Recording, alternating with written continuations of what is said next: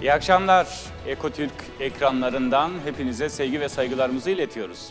Yeni dünya düzeni ile birlikte karşınızdayız. Aslında yeni dünya düzeni 2. Dünya Savaşı sonrasında biliyorsunuz kurulmuştu. Amerika'nın önderliğinde kurulan sistem yeni dünya düzeniydi. Sonra Soğuk Savaş ve arkasından tek kutuplu dünya ama bugün yeniden tartışmalar ve gerilimler devam ediyor. Yeni dünya düzeni yerine oturmadı mı acaba diye soruyoruz. İşte buradan yola çıkarak bugün yaşamış olduğumuz ya da yaşanmakta olan gerilimleri, tartışmaları, bölgesel çatışmaları, ticari savaşları, enerji koridorlarını, ticari e, koridorları acaba bundan sonra nasıl şekillendireceğiz? Neler olacak? Amerika ile Çin bütün dünyadaki ticari gelişmeleri engellemeye ya da azaltmaya yönelik olduğu biliniyor. Bu kaotik oradan, ortamdan nasıl çıkabiliriz? İşte Yeni Dünya Düzeni isimli bir programımız tam da buna yönelik bir cevap bulmaya yönelik bir çalışma diyelim. Bu akşam Yeni Dünya Düzeni'nin ilk konuklarıyla, ilk programları programınızdayız. Ben isterseniz değerli konuklarımızı, ilk program konuklarımı tanıtmak istiyorum. Sabancı Üniversitesi'nden Profesör Doktor e, Fuat Keyman. Hocam hoş geldiniz. Hoş bulduk. Hayırlı Ee, yayınlar. Daha önce biz sizinle birlikte birçok defa program yaptık. Burada ilk defa sizle birlikteyiz. Çok Hayırlı olsun. Teşekkürler. Teşekkürler. TÜSİAD Baş Ekonomisti Doktor Zümrüt İmamoğlu. Zümrüt Hanım hoş geldiniz. Hoş bulduk. Ve hocamız Piri Reis Üniversitesi'nden Profesör Doktor Taner Berksoy. Hocam sizi ağırlamaktan büyük bir keyif duyuyoruz. Sağ olun, çok mersi. Teşekkür ederim. İsterseniz bu yeni dünya düzeni dedik. E, bugün birçok e, tabii tanıtımlar, teaserlar, jenerikler dönünce arkadaşlarımızdan yazan oldu, anlatanlar oldu. İkinci Dünya Savaşı'nda kurulmuştu, yeniden mi kuruluyor diye sordular. Ben de Fuat Keyman hocamla başlamak istiyorum. Yeni dünya düzeni tam oturmadı mı, kurulamadı mı? Bugün yaşadığımız nedir bizim? Bugün yaşadığımızı e, birkaç yönüyle e, değerlendirebiliriz. Örneğin bir tanesi sizin de e, girişte söylediğiniz gibi İkinci Dünya Savaşı'ndan sonra bir düzen kuruluyor. Bütün o işte Birleşmiş Milletler, IMF, Dünya Bankası, NATO bütün o kurumlarıyla birlikte e, ve bugüne kadar geliyor. 1990'da çok önemli bir dönüm noktası oluyor çünkü e, 45 sonrası düzen iki kutuplu Sovyetler Birliği ile Amerika arasındaki rekabete Soğuk Savaşı dayalıyor. Soğuk Savaş bitiyor. 1990'da Soğuk Savaş bitiyor. Ondan sonra e, o dönemki çok önemli bir kitap olan Francis Fukuyama diyor ki artık tarihin sonu geldi. Çünkü Amerika'nın temsil ettiği serbest pazarın, liberal demokrasi ve küçülmüş devletin, e, yani ekonomiye müdahale etmeyen devletin artık e, rakibi yok. Yani ona o zamanlar there is no alternative, TINA sendrom deniyordu. Yani alternatifi olmayan bir dünyaya geçtik gibi. Fakat e, bu tarihin sonu tezi artık e, sosyalist, e, otoriter, totaliter, kontrollü ne dersek diyelim. E, yani böyle bir alternatifin liberal demokrasiye ve serbest pazara rakip olamayacağı tek kutuplu bir dünyaya gidiyormuşuz gibi oldu 90'larda. Ama hemen birkaç yıl sonra ufak ufak Afrika'da başlayan, Asya'da başlayan ama ondan sonra en önemli 95'te işte Bosna e, olayıyla çok önemli bir hale gelen ve o zaten e, o yeni dünya düzeni, tek kutuplu dünya, tarihin sonu tezinin bitimi anlamına geliyor. Çünkü İkinci Dünya Savaşı'nın örnek ülkelerinden Yugoslavya tamamıyla çöktü, üçe bölündü. Ve e, a, ne oluyoruz? O düzen artık bitiyor. Yani böyle bir tek kutuplu düzen var ama acaba bu tek kutuplu düzen tek kutuplu mu yoksa çok kutuplu bir hale mi gidiyor? Farklı şeyler mi, e, sorunlar, farklı çatışma alanları mı ortaya çıkıyor diye. Ve buna biz esasında bugün Türkiye'de de çok tartıştığımız o dönemlerden bugüne kimlik, kültürel kimliğin, kimlik siyasetlerinin çok öne çıkması. Çünkü Bosna bir aynı zamanda etnik e, soykırım gibi bir bir yapıya da sahip oluyor. Arkasından 97 yılında yine 90'lardan sonra örnek gösterilen Güney Asya ülkeleri, Tayvan'la birlikte başlayan Güney Asya krizi var. Güney Asya krizi serbest pazarla birlikte giden ekonominin ilk krizi oluyor ve küreselleşmenin, yeni düzenin en önemli ülkelerinden, bölgelerinden Güney Asya birdenbire krize giriyor. Ve bu kriz esasında 97'deki kriz çok hızlı bir şekilde Arjantin'e gidiyor. Arjantin'den yukarı çıkıp Rusya'ya geliyor. Hepimizin bildiği gibi aşağıda 2001 yılıyla bize geliyor ve bu şekilde biz diyoruz ki ki o dönemin de önemli yazarlarından Stiglitz diyor ki bu belki de ilk küresel kriz çünkü çok hızlı yayılıyor ve dünya hızlanıyor, ekonomiler birbirleriyle bağlantılı hale geliyorlar ama riskli bir yapıya yapıya sahip. Zaten ondan sonra 2001 yılında hepimizin bildiği gibi bir 11 Eylül olayı var ki 11 Eylül olayı güvenlik ve terör temelinde dünyayı sarsıyor. 11 Eylül'den sonra bir düzelmeler özellikle biraz sonra arkadaşlarımızdan duyacağımız para politikalarında, para sıcak para deviniminin de önemli bir açılım var. Ama 2008 yılında bu sefer Tayvan'da olan şey sefer Amerika'da. Amerika'da oluyor. İşte Lehman Brothers'larla birlikte başlıyor ve bütün dünyaya, Avrupa'ya o egemenlik banka krizi olarak olarak gidiyor ve e, hala da bizim yani ciddi anlamda bir ekonomik krizimiz var. Şimdi böyle bak Hocam şöyle sorayım. Yaşadığımız bu kaotik durum Amerika'nın ekonomik krizinin nedeni midir? Yani burada birkaç tane görüş var. Bunlardan bir tanesi tabii ben e, ekonomiden daha çok uluslararası ilişkiler Genel bir değerlendirmenizi alacağım. Hocam da devam Yani mesela Henry Kissinger ki duayen bir insandır. Onun son söyleşilerin bir tanesi de diyor ki e, belki sizin bu yeni dünya düzeni bir arayış, bir soru işareti gide koyulabilir. Çünkü o diyor ki 45 sonrası düzenin e, sonuna geldik. Belki Evet. de yani yeni bir yapıya doğru dünya gidiyor ama nereye gideceğini tam bilemiyoruz ki burada çok önemli bir çatışma alanı Amerika ile Çin arasında e, olacak. Ona esasında Atlantik'ten yani Avrupalardan, Amerikalardan Çin'e doğru, Pasifik'e doğru kayma da deniyor. İkinci söylenen e, bir anlamda e, e, yeni dünya düzeni 45'ten sonra bir anlamda bir liberalliği, demokrasi içeriyordu. Evet, Ama evet. bugün e, işte Amerika'da Trump var, Polonya var, Macaristan var, Çin var, Hindistan var, Rusya var, Brezilya var. Orada da e, yine e, isimleri veriyoruz ama ben, benim için çok önemli e, düşünürlerden, siyasal ekonomicilerden Danny Roderick'in ilginç bu yine sizin yeni dünya düzeniyle ilgili yani eski bitti yeni doğmuyor yeni dünya düzeni soru işareti gibi Danny Roderick de şunu söylüyor e, bu küresel yapı, bu küresel dünya e, da esasında biz e, üç tane sorunu karşı karşıyayız, üç sorunla ve bunların üçüyle aynı anda debelleşmemiz ya da bunları çözümümüz mümkün değil. Bir tanesi serbest pazar, küreselleşme, ekonomi, bir tanesi demokrasi, bir tanesi devlet egemenliği. Bunu üçünü aynı anda yapmak mümkün değil. O üçlünün olanaksızlığı diyor buna.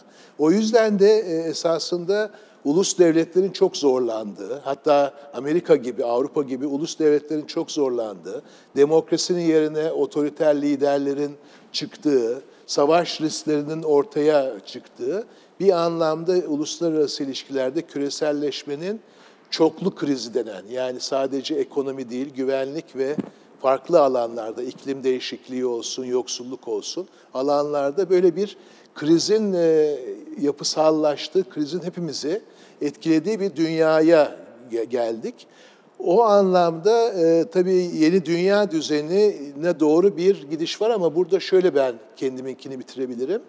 Şunu kabul ediyorum ben hani eski 45 sonrasıki düzen artık yavaş yavaş sonuna geliyoruz.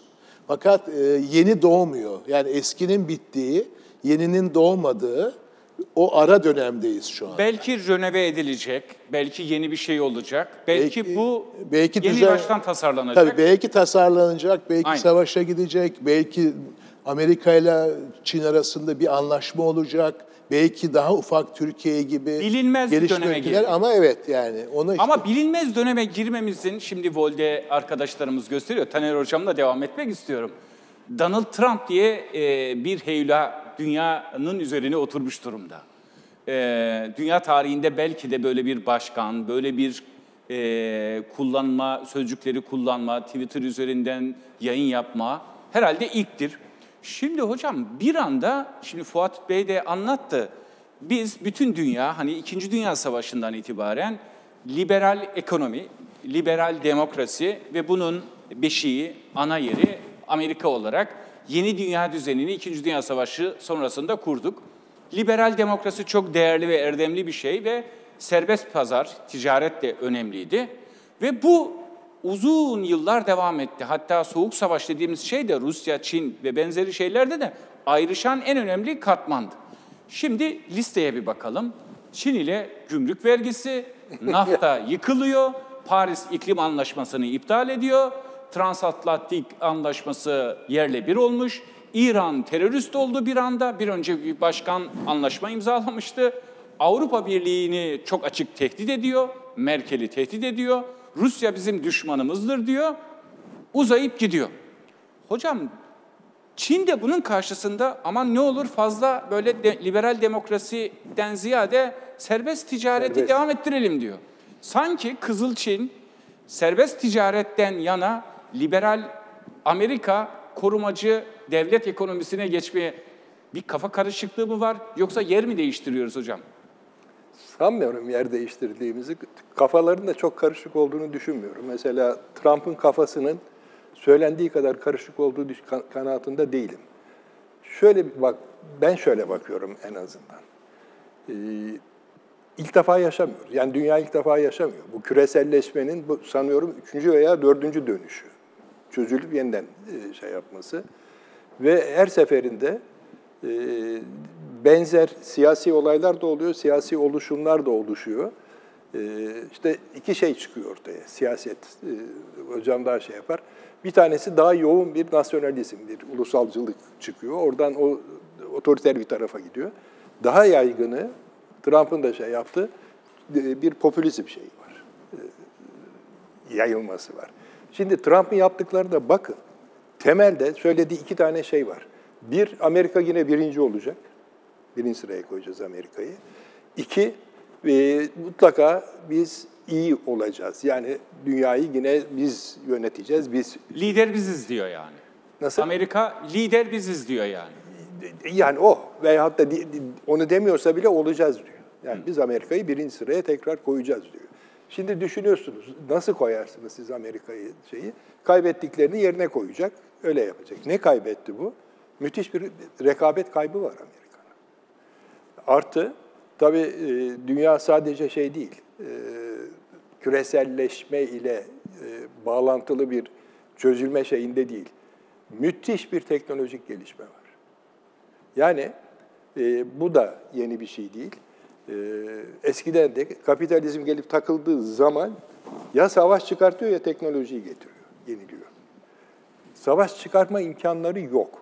Biliyorsunuz iki tarafta da müthiş bir nükleer şey var.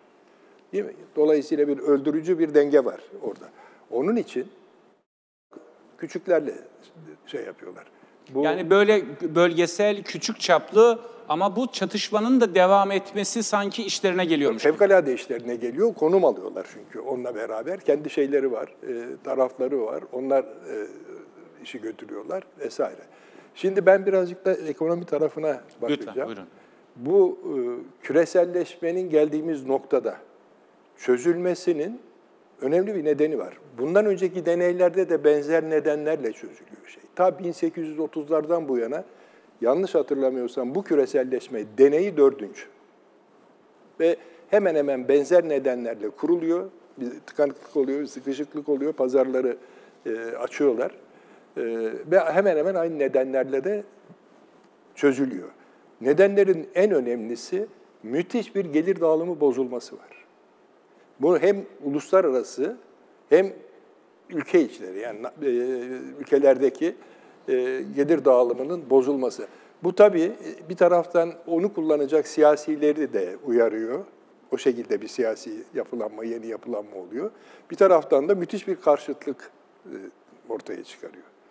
İkincisi, şeyde bakıyorsunuz rekabet ciddi bir boyutta çıkıyor ve rekabete çok fazla dayanamıyor. Bana kalırsa en bu son dönem küreselleşmenin en önemli tarafı ötekilerde pek fazla yok bu. Çok yaygın. Yani bizim e, işte gelişmekte olan ülkeler dediğimiz şeyler falan küreselleşmenin içindeler. Ya ortak olarak içindeler ya tek başlarına için içindeler. E, ve onlar da aynı süreçte gidiyorlar. Yani onlarda da gelir dağılımı bozuluyor, onlarda da müthiş bir karşıtlık ortaya çıkıyor. E, ve bunun iki tane siyasi sonucu var. Bir, bir ekonomik sonucu var, şey sona götürüyor. Yani dengesizliğe götürüyor. Onun için bir, birkaç bir şey daha söyleyeceğim. Siyasi olarak da demin de söyledim, e, çok böyle kaba bir milliyetçilik ve yaygın bir popülizm ortaya çıkıyor. Bakın şimdi, ben hoca benden daha iyi bilir bunu ama Orta Avrupa'nın neredeyse hepsi popülist. Ve o popülist liderlerin hemen hemen hepsi şey, e, tek başına kalmak, yani tek adam olma niyetinde. Ve ona göre de ülkelerini yeniden düzenlemeye çalışıyorlar. Ve bu arada Avrupa Birliği üyesi bunlar, e, işte dünya ticaretine katılıyorlar vesaire falan ama e, örtük veya açık bir şekilde yaptıkları şey bu. Şimdi tarihte diyor ki kardeşim bu popülizmden hiçbir yere gidilmez.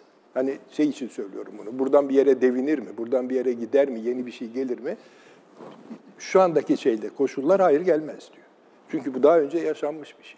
Bu tür durumlarda müthiş bir popülist dalga geliyor. Bir yere götürmüyor. Herhangi bir şey yapmıyor. Herhangi bir yenilik de yapamıyorlar. Ve öyle yavaş yavaş e, ortadan kalkıp gidiyor. Hocam bir şey soracağım. Şimdi daha önce de oldu dediniz. 1800'lerden bahsettiniz. Birinci Dünya Savaşı öncesinde dünyadaki ekonominin en yüksek refah düzeyine doğru çıktığı bilinir. O anda e, savaş oluyor ve o yani küreselleşme dediğimiz bugünkü serbest ticaretin o günkü şekliyle bir anda önü kesilmiş oluyor. Tabii, tabii. İlginç bir şey daha çıkıyor. Arkadaşlarımız o onu biraz sonra vereceğiz. Ee, ilginç bir şey çıkıyor. Ondan sonra biraz liberal, biraz devlet. Keynes e, yen ekonomisinin üzerine duruyor. Şimdi bugüne geliyoruz. İlginç bir şey oluyor. Bugün devlet ekonomi, serbest piyasa e, birlikteliğini tekrar görmeye başladı. Keynesyen ekonomisinin artık tartışılmaya başladığı yeniden bir dönemde miyiz? Aynen, aynen. Şimdi bakın, e, onu şöyle şey yapalım. İkinci Dünya Savaşı'nın sonunda 40'lı 45'le diyelim başlayan süreçte 70'lere kadar öyle büyük bir serbestleşme şey yok. Bakın hatırlayın, tam tersi bütün koloniler çözülüyor. Hepsi ulus devlet haline geliyorlar öyle mi? Hepsinin yeniden bir yapılanma vesaire sorunu var. Ve o yapılanmada e, şey olmaz. Yani serbest iklimde o yapılanmayı yapamazsınız. Ulusal boyutta yapamazsınız. Dolayısıyla müthiş bir protectionism, müthiş bir korumacılık var. Herkes kendi ülkesinin şeylerini kapatabildiği kadar sınırlarını kapatıyor. İçeride içeriye dönük şey yapıyor. Çok verimsiz. Çok verimsiz o, o şey ve bir yere de gitmiyor açıkçası. Müthiş bir verim kaybı var vesaire. Şeyi yapan, küreselleşmeyi temelde besleyen yoksa büyüklerin hepsi zaten küreselleşmeci, zaten serbest ticaretçi. Öyle kendilerini çok, o, o tarihte yok. Şimdi yapıyorlar ama o tarihte öyle çok büyük korumaları yok. Gelişmekte olan ülkeleri de ikna ediyorlar serbestleşme diye. Ondan sonra bizim konunun, Zümrüt daha iyi bilecek, dramı başlıyor. Müthiş bir finansallaşma var dünyada. İkinci şey bu. Küreselleşmeyi dibe iten şeylerden bir tanesi de bu.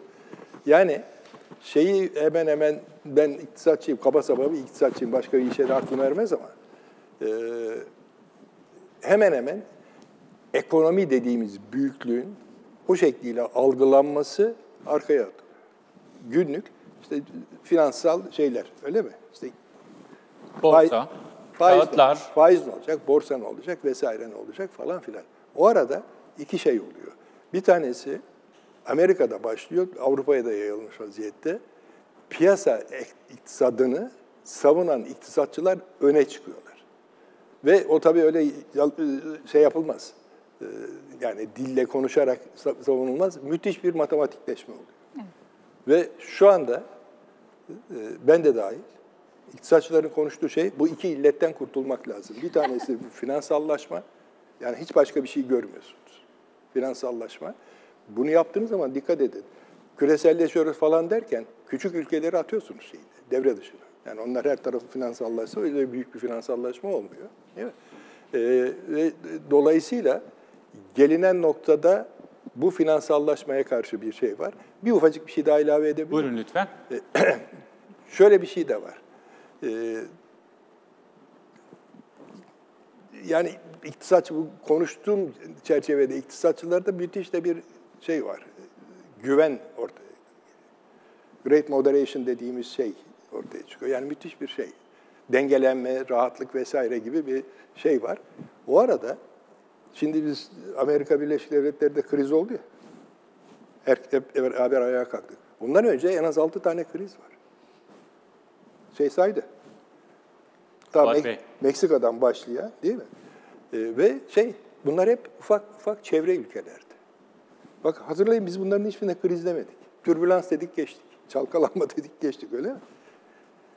Şeyin bu e, 2008'in en önemli tarafı tam olayın merkezinde olmaz. Amerika Birleşik Devletleri. Finans kısmında. Finans. Tam Amerika. Yani orada sıkıntı var. İlk başta da hatırlarsınız şey ya bu e, olmaması gereken insanlara konut kredisi verdiler. O konut kredisi geri geldi ve sarstı şey falan o değil. E, Şeyin içinde var. Yani getirilen düzenin içinde bu var. Yani orada tabii e, Rusya'da müthiş bir kriz oldu. Hemen zıpladı yukarıya çıktı. Hemen zıpladı Avrupa'ya geldi. Ama e, bu şunu bana en azından şunu anlatıyor. Tamam yeni bir düzen kuruyorsunuz ama fevkalade unstable, dengesiz bir düzen ve her an şeye de yatkın. Bunun genişleyip merkez krize dönmemesinin nedeni uzunca bir süre büyükler bunu kontrol ediyorlar. Şimdi kontrol edemeyecekler mi? E, Amerika'yı kontrol ederseniz edersiniz. Zümrüt Hanım sizinle devam edelim. Şimdi hocamın kaldığı yerden devam edelim. Önce şunu sormak istiyorum. Bu yaşadığımız aslında kriz bir kapitalizmin kendi artık üre- üretememe ya da çözüm bulamama krizi midir? Birincisi. İkincisi e, hocamın söylediği işte borsalar, finansal rakamlar e, ve rakamların üzerinde dönen ekonomi ama diğer tarafta üretim, sanayi, teknoloji falan onlar sanki ikinci planda kalmış gibi. Bu da bir krize mi neden oldu Lehman Brothers ve 2008 Amerika'daki kriz? Yani çok mu rakamlara döndü artık iş? Üretim ya da insan e, kenara mı çekildi? Şimdi dünya ve ekonomiler gelişirken her şey aynı hızda gelişmiyor. Ee, ekonomide özellikle finansal piyasalarda da ekonomi içerisinde de finansal piyasalar oldukça önden ve hızlı gitti ama bütün bunların önüne hep teknolojik değişimler açıyor. Şimdi teknoloji ne getirmişti? Sanayi devrimi. İşte bütün ülkeler e, özellikle e, yoksul ülkeler, gelişmekte olan ülkeler de sanayileşmeye çalışmışlardı. Şimdi bilgi teknolojileri ve daha da hızlılaşan, e, hızlılaşan bir dijitalleşme devrimi yaşıyor e, dünya. Teknoloji önden gittikçe arkadan da ekonomi ve finans dünyası geliyor. E, sermaye sınır tanımıyor artık. Yani sermayenin, e, finansmanın gidebileceği, e, ulaşabileceği her türlü serbestliğe ulaşmış durumdayız. Her ülkeye 24 saat global düzen içerisinde bir finansal dünya var. Hiç uyumuyor bu finansal dünya. Hangi ülkede olursanız olun 24 saat, 7 gün boyunca finansal piyasalar açık ve sermaye istediği yere, istediği anda saniyeler içerisinde gidebiliyor, akabiliyor. Şimdi bütün bu serbestliğe rağmen siyaset ise hala sınırların içerisinde tıkanmış durumda. Siyasetçi hala o sınırlar içerisinde yaşayan insanları mutlu etmeye çalışıyor. Çünkü o sınırlar içerisinde yaşayan insanlardan oy kazanıyor. İktidar olduğunu mu hissediyor orada? Tabii orada iktidar. Ama halbuki ekonomi, şimdi finansallaşma her şeyi zaten sınırları aşmış. Orada sermaye piyasalarında sınır yok. Siyasette ise hala sınır var. Mali politikalarda hala sınırlar var ama para politikasında yok aslında. Fed'in politikaları, Avrupa Merkez Bankası, Japonya Merkez Bankası'nın hepsine bakın birbirlerinden çok fazla ayrışamıyorlar. Onların politikaları da bizim gibi ülkeleri çok fazla etkiliyor ve biz de onlardan bağımsız e, bir para politikası düşünemiyoruz. Türkiye'de de bütün dünyada da faizlerde, tahvil faizleri de hepsi birbiriyle bir korelasyon içerisinde hareket ediyor. Ama mali politikalar öyle değil. Mali politikalar hala devletin harcamaları, devletin topladığı vergiler bunlar da sınırların içerisinde hapis kalmış durumda. Avrupa'yı aslında çok güzel bir örnek olarak buna verebiliriz AB'yi. İşte Euro bölgesine geçtiler ama mali e, politika yani para politikasını tekleştirdiler. Tek bir para birimi kullanıyorlar. tek bir merkez bankasıyla yönetiliyorlar. Ama maliyeye baktığınızda her ülkenin kendi devleti kendi vergisini topluyor, kendi harcamasını yapıyor ve orada bir farklılaşma var. Ve sırf buradan AB'de müthiş bir kriz var. Amerika'da örneğin çıkan krizi Amerika çok daha hızlı atlattı ve büyümeye Çünkü çok hızlı karar döndü. alma mekanizması çok hızlı. Aynen Avrupa öyle. Çünkü orada bürokratik. yöneten tek bir otorite. Hem mali politikayı hem para politikası vesaire. ABD ise öyle değil. Şimdi AB e, örneğini küresele de uygulayabilirsiniz. Küreselde de karar alma mekanizmalarında, ekonomi politikalarında bir birlik oluşturamadığınız için ve eski dünyanın dediğimiz o İkinci Dünya Savaşı'nda kurulan kurumlar, işte IMF, Dünya Bankası bunların hepsi o zamanki o sabit kur, Bretton Woods rejimine göre kurulmuş e, kurumlardı. Ya da Dünya Ticaret Örgütü, onun bir hedefi vardı işte gümrük vergilerini azaltmak zaman içerisinde. Bütün bu kurumlar artık dünya ekonomisini yönetemiyorlar. E, o senkronizasyon yok, o hızlı karar alma mekanizması yok. Bunu uygulayabilecek devletler de yok. Çünkü devletler o sınırlar içerisinde hapsolmuş durumdalar. Dolayısıyla iki şeyden biri olacak ki küresel yani geçmişten günümüze baktığımda ben ekonomide sürekli önce sermayenin, sonra ticaretin, sonra yani mal serbestisinin Sonra bunu e, insanların serbestisi olarak konuşabiliriz ki bugün müthiş bir göç problemi var dünyada. E, göç ve göçmen problemi. E, bunların hepsi giderek serbestleşirken siyaset belli sınırların içerisinde sıkışıp kalamaz. Eğer sıkışırsa bugün yaşadığımız şey olur. Yani Kriz bundan dolayı çıkıyor. Tabii o bölgenin şimdi Amerika Trump ne diyerek geldi? Küreselleşme aslında dünyada farklı ülkeler arasındaki yoksulluk seviyelerini azalttı. Mesela Çin'de müthiş bir büyüme görüyoruz. Amerikalı Hindistan'da. Amerikalı orta sınıf ne diyor? Niye Çin büyüyor da benim gelirim artmıyor diyor. Trump ne diye geldi? Önce Amerika diyerek geldi. Yani artık küresel herkesin refahı değil, önce Amerika, önce benim insanım diyerek geldi. Zaten korumacı e, şeye de hemen oradan ulaşıyorsunuz ya da o milliyetçi söyleme.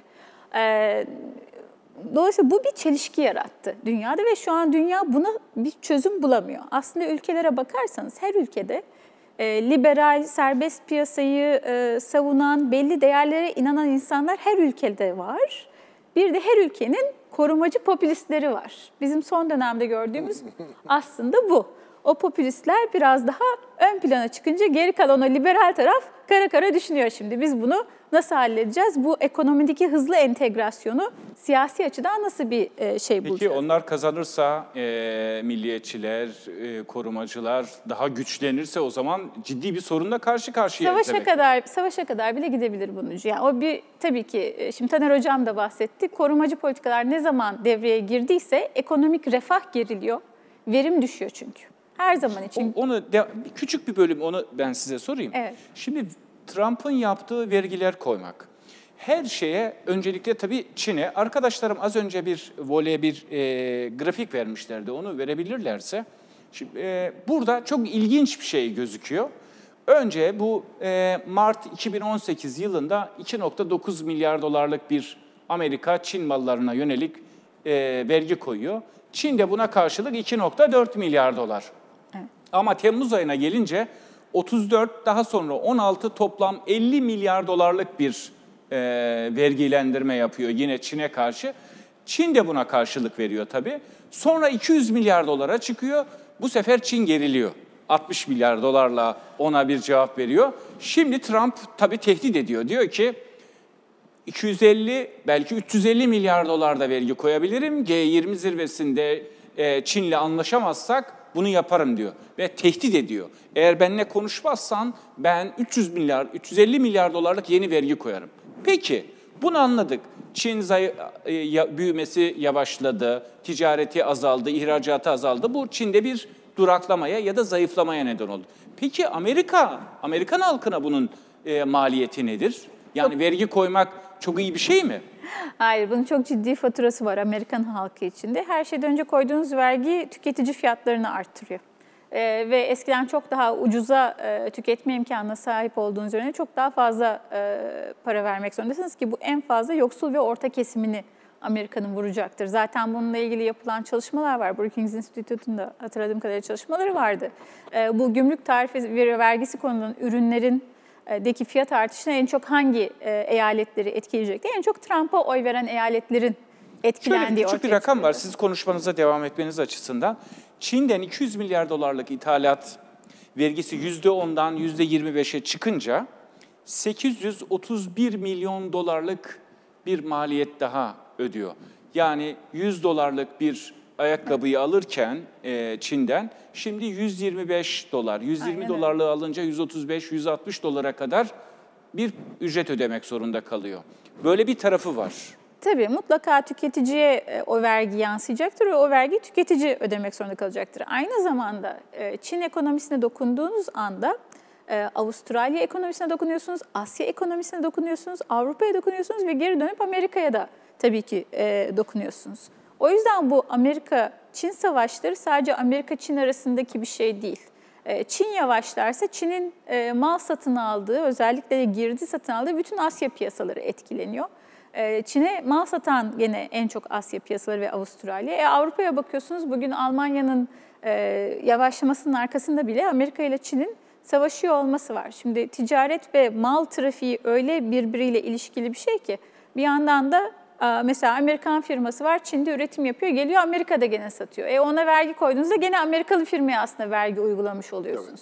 Evet. Ee, o yüzden bu böyle bir tane, e, Aa, ben Çin mallarına vergi koyuyorum diye bir şey yok. Çünkü Çin malı diye bir şey yok aslında. Amerika malı diye bir şey de yok. İşte Alman malı diye bir şey de yok. İçini açın bakın belki 5, belki 10, belki 15 tane ülkeden e, farklı farklı malzemelerle yapılıyor o ürünler. Şimdi bu entegrasyona... Küreselleşme? Aynen öyle. Bu entegrasyona ulaştıktan sonra hadi geri dönelim, duvarları yükseltelim. Bu işe yaramaz. Tersine daha fazla e, küresel ekonomiyi bir resesyona sokabilir ki bugün Amerika'da herkes 2020'de resesyon olacak diye konuşuyor. Ama Trump diyor ki eğer bu vergileri koymazsak Amerika e, Amerikan halkının çoğu işsiz kalacak. Bu Çinliler her şeyi üretecek, ekonominin lideri olacak. Dolayısıyla bir an önce buna engel olmamız Bunlar gerekiyor. Bunlar defalarca deniliyor. söylendi. 1800'lerde de söylenmişti, Tabii. 1900'lerin başında da söylenmişti. Tabii. Hatta e, o e, büyük buhran 1929'dan sonra tam da bu argümanlarla korumacı politikalara geçildi. Sonra ne oldu? Daha da kötü.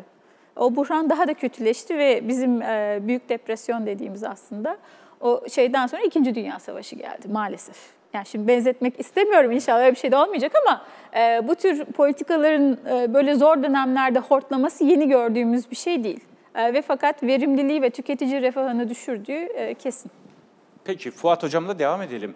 Şimdi biz bir blok halinde düşünüyorduk. Yani bir e, liberal demokratlar, serbest piyasadan yana olan ülkeler, Amerika, Avrupa ve onunla onu destekleyenler. Bir de hani Soğuk Savaş döneminde eski sol, sosyalizm ya da e, Marksist ekonomiye yakın, devletçi ekonomi diyebileceğimiz Rusya, Çin ve onun hinterlandındaki ülkelerdi. Şimdi dengeler değişti biraz. Trump mesela Merkel'i ve Avrupa'yı e, çok açık olarak tehdit ediyor. NATO'dan çıkabiliriz diyor. NATO'ya para vermezseniz Avrupa'da güvenlik güvenliğinizi sağlamayız diyor. Bununla da kalmıyor. Avrupa'dan Amerika'ya ithal edilen arabalara, e, otomobillere çok ciddi bir vergi koyuyor. O zaman Batı içerisinde bir kriz mi var? Yoksa az önce hocama da söyledi. Bu bir kapitalizmin kendi iç krizi midir? Yani tabii kapitalizmi sadece ekonomik olarak düşündüğünüz zaman evet öyle bir bir kriz var. Fakat esasında bir de bir sizin de programınızın isminden gelen bir dünya düzeni var. Yani uluslararası ilişkiler dediğimiz, devletler arası ilişkiler dediğimiz, hatta uluslararası kurumlarla devletler arasındaki ilişkiler dediğimiz bir düzen var. O yüzden e, bunu biraz daha büyük, sistematik olarak düşünmek gerekiyor. Esasında şöyle söylemek daha doğru gibi geliyor bana.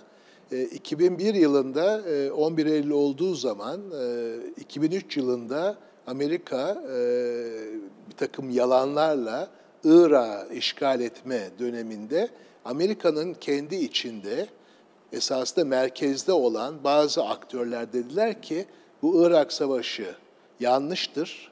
Amerika'nın esas rakibi Çin'dir. Biz Irak'a giderek gereksiz yere zayıflıklarımızı göstermeyelim. Bu savaşa ahlaki olarak karşı çıkmadılar. Bu savaşa uluslararası hukuk temelinde karşı çıkmadılar. Bu savaşa Amerika'nın esas rakibine göre e, kendisini daha ufak bir rakiple sınamasının yanlış olduğu temelinde karşı çıktılar. Mesela bunlardan önemli bir tanesi Harvard'ın başında olan Stephen Watt'tı. John Mersheimer'dı. Ve buradan e, bu 2003 yılından bugüne geldiğimiz zaman esasında Amerika'nın e, kendi establishment denen merkezi yapısı içinde dünyanın geleceğinin Amerika ile Çin'in hem ekonomik hem siyasal anlamda kapışması üzerine evrileceği görüşünün hakimiyeti var. Tabii bu bir görüş. Ona karşı da yine aslında Çin'le olan ilişkiyi çok önemseyen, yani ticaret savaşlarına bir anlamda karşı çıkan, Çin'le savaşa karşı çıkan esasında ama yine de dünyanın geleceğinin Amerika ile Çin ilişkisi tarafından belirleneceğini söyleyen ama bunların bir bir anlamda bir ilişkiye girebileceğini, birbirleriyle bir işbirliği yapabileceğini söyleyen bir görüş var. O yüzden de esasında bugün e, e, Trump'ın yapmış olduğu e, sadece Trump özelinde olan bir şey değil. Yani Amerika'nın dünyaya bakışı, kendi hegemonyasına bakışı, dünyanın geleceğe bakışında bu iki görüş e, birbirleriyle birbirleriyle çarpışıyor. Çünkü hakikaten de e, Soğuk Savaş sonrası dünyada giderek artan bir şekilde tek kutuplu dünya olacak derken esasında biz şöyle bir şeyle karşılaştık. Bir tarafta yani siyasal anlamda Amerika güçlü ama onun yanında Avrupa Birliği gibi bir yapı var. Ama aynı zamanda BRICS dediğimiz, gelişmekte olan ülkeler dediğimiz, hı hı. yani Çin, Hindistan, Rusya, hatta Türkiye'de onun içine gidebileceğimiz bir, bir yapı var. O yüzden de yani tek kutupludan daha çok çok kutuplu yahut da tek kutuplu ama altında çok kutuplu bir yapı var ve bunu da e, e, söylendiği gibi İkinci Dünya sonrası olan kurumlar bu süreçlerdeki dengeyi sağlayamıyorlar. Ne Birleşmiş Milletleri sağlıyor, ne IMF'si sağlıyor, ne Dünya Ticaret Örgütü sağlıyor. O yüzden de böyle bir dünyada devletlerin birbirleriyle, blokların birbirleriyle kapışması gibi e, bir e, bir yapıya doğru gidiyoruz. Bu e, çok kutupluluğa doğru gitmenin en önemli iki tane ülkesi Çin ve hemen bizim yanımızda olan Rusya oluyor. Çünkü onlar ikisi birlikte bir taraftan işte bugün Orta Doğu dediğimiz ki bu savaş ilk önce oralarda da yaşanıyor. Yani Amerika ile Rusya olarak Orta Doğu'da yaşanıyor. Amerika ile Çin olarak, ticaret olarak olarak yaşanıyor. Böyle bir dünyanın yeniden şekillenmesinde bu büyük güçler dediğimiz e, bir bir yapı var. Bazıları şunu söylüyorlar, ben çok katılmamakla birlikte, yani Amerikan hegemonyasının sonuna geldik. Artık bundan sonra Amerikan hegemonyası sonrası bir dünyadayız. Ve bu dünyada belki de Asya'nın egemenliğinde olan bir, bir 21. yüzyıl yaşayacağız filan. Doğu ile Batı arasındaki Ama, ekonomik güce baktığınız zaman Batı'nın egemenliği birkaç yıl önce bitti değil mi hocam? Evet, yani, Doğuya kaydı. Yani ekonominin evet, ağırlığı açısından Ama yani bakarsak... orada da tabii ekonominin yani volümlerine bakmak lazım. O ekonominin üretim yapısına bakmak bakmak lazım. Kim üretiyor, kim kim kim üretmiyor diye. Ama şöyle görebiliriz esasında. Yani e, belki öyle bitireyim ben. E, oradan e, Taner Hoca devam etsin. Yani bir e, bir kere e, Doğu ile Batı arasında, Amerika ile Çin arasında yani bu bir bir bir şey var. Bir bir mücadeleye doğru giden bir bir dünya var. Onun altında e, bu dünyada e, bizim düzen dediğimiz şeyin bir şekilde sonuna gelmiş bulunuyoruz. Çünkü bunun da şöyle bir göstergesi var. Bir, biraz evvel söylendi, 65 milyon civarında mülteci göçmen var dünyada.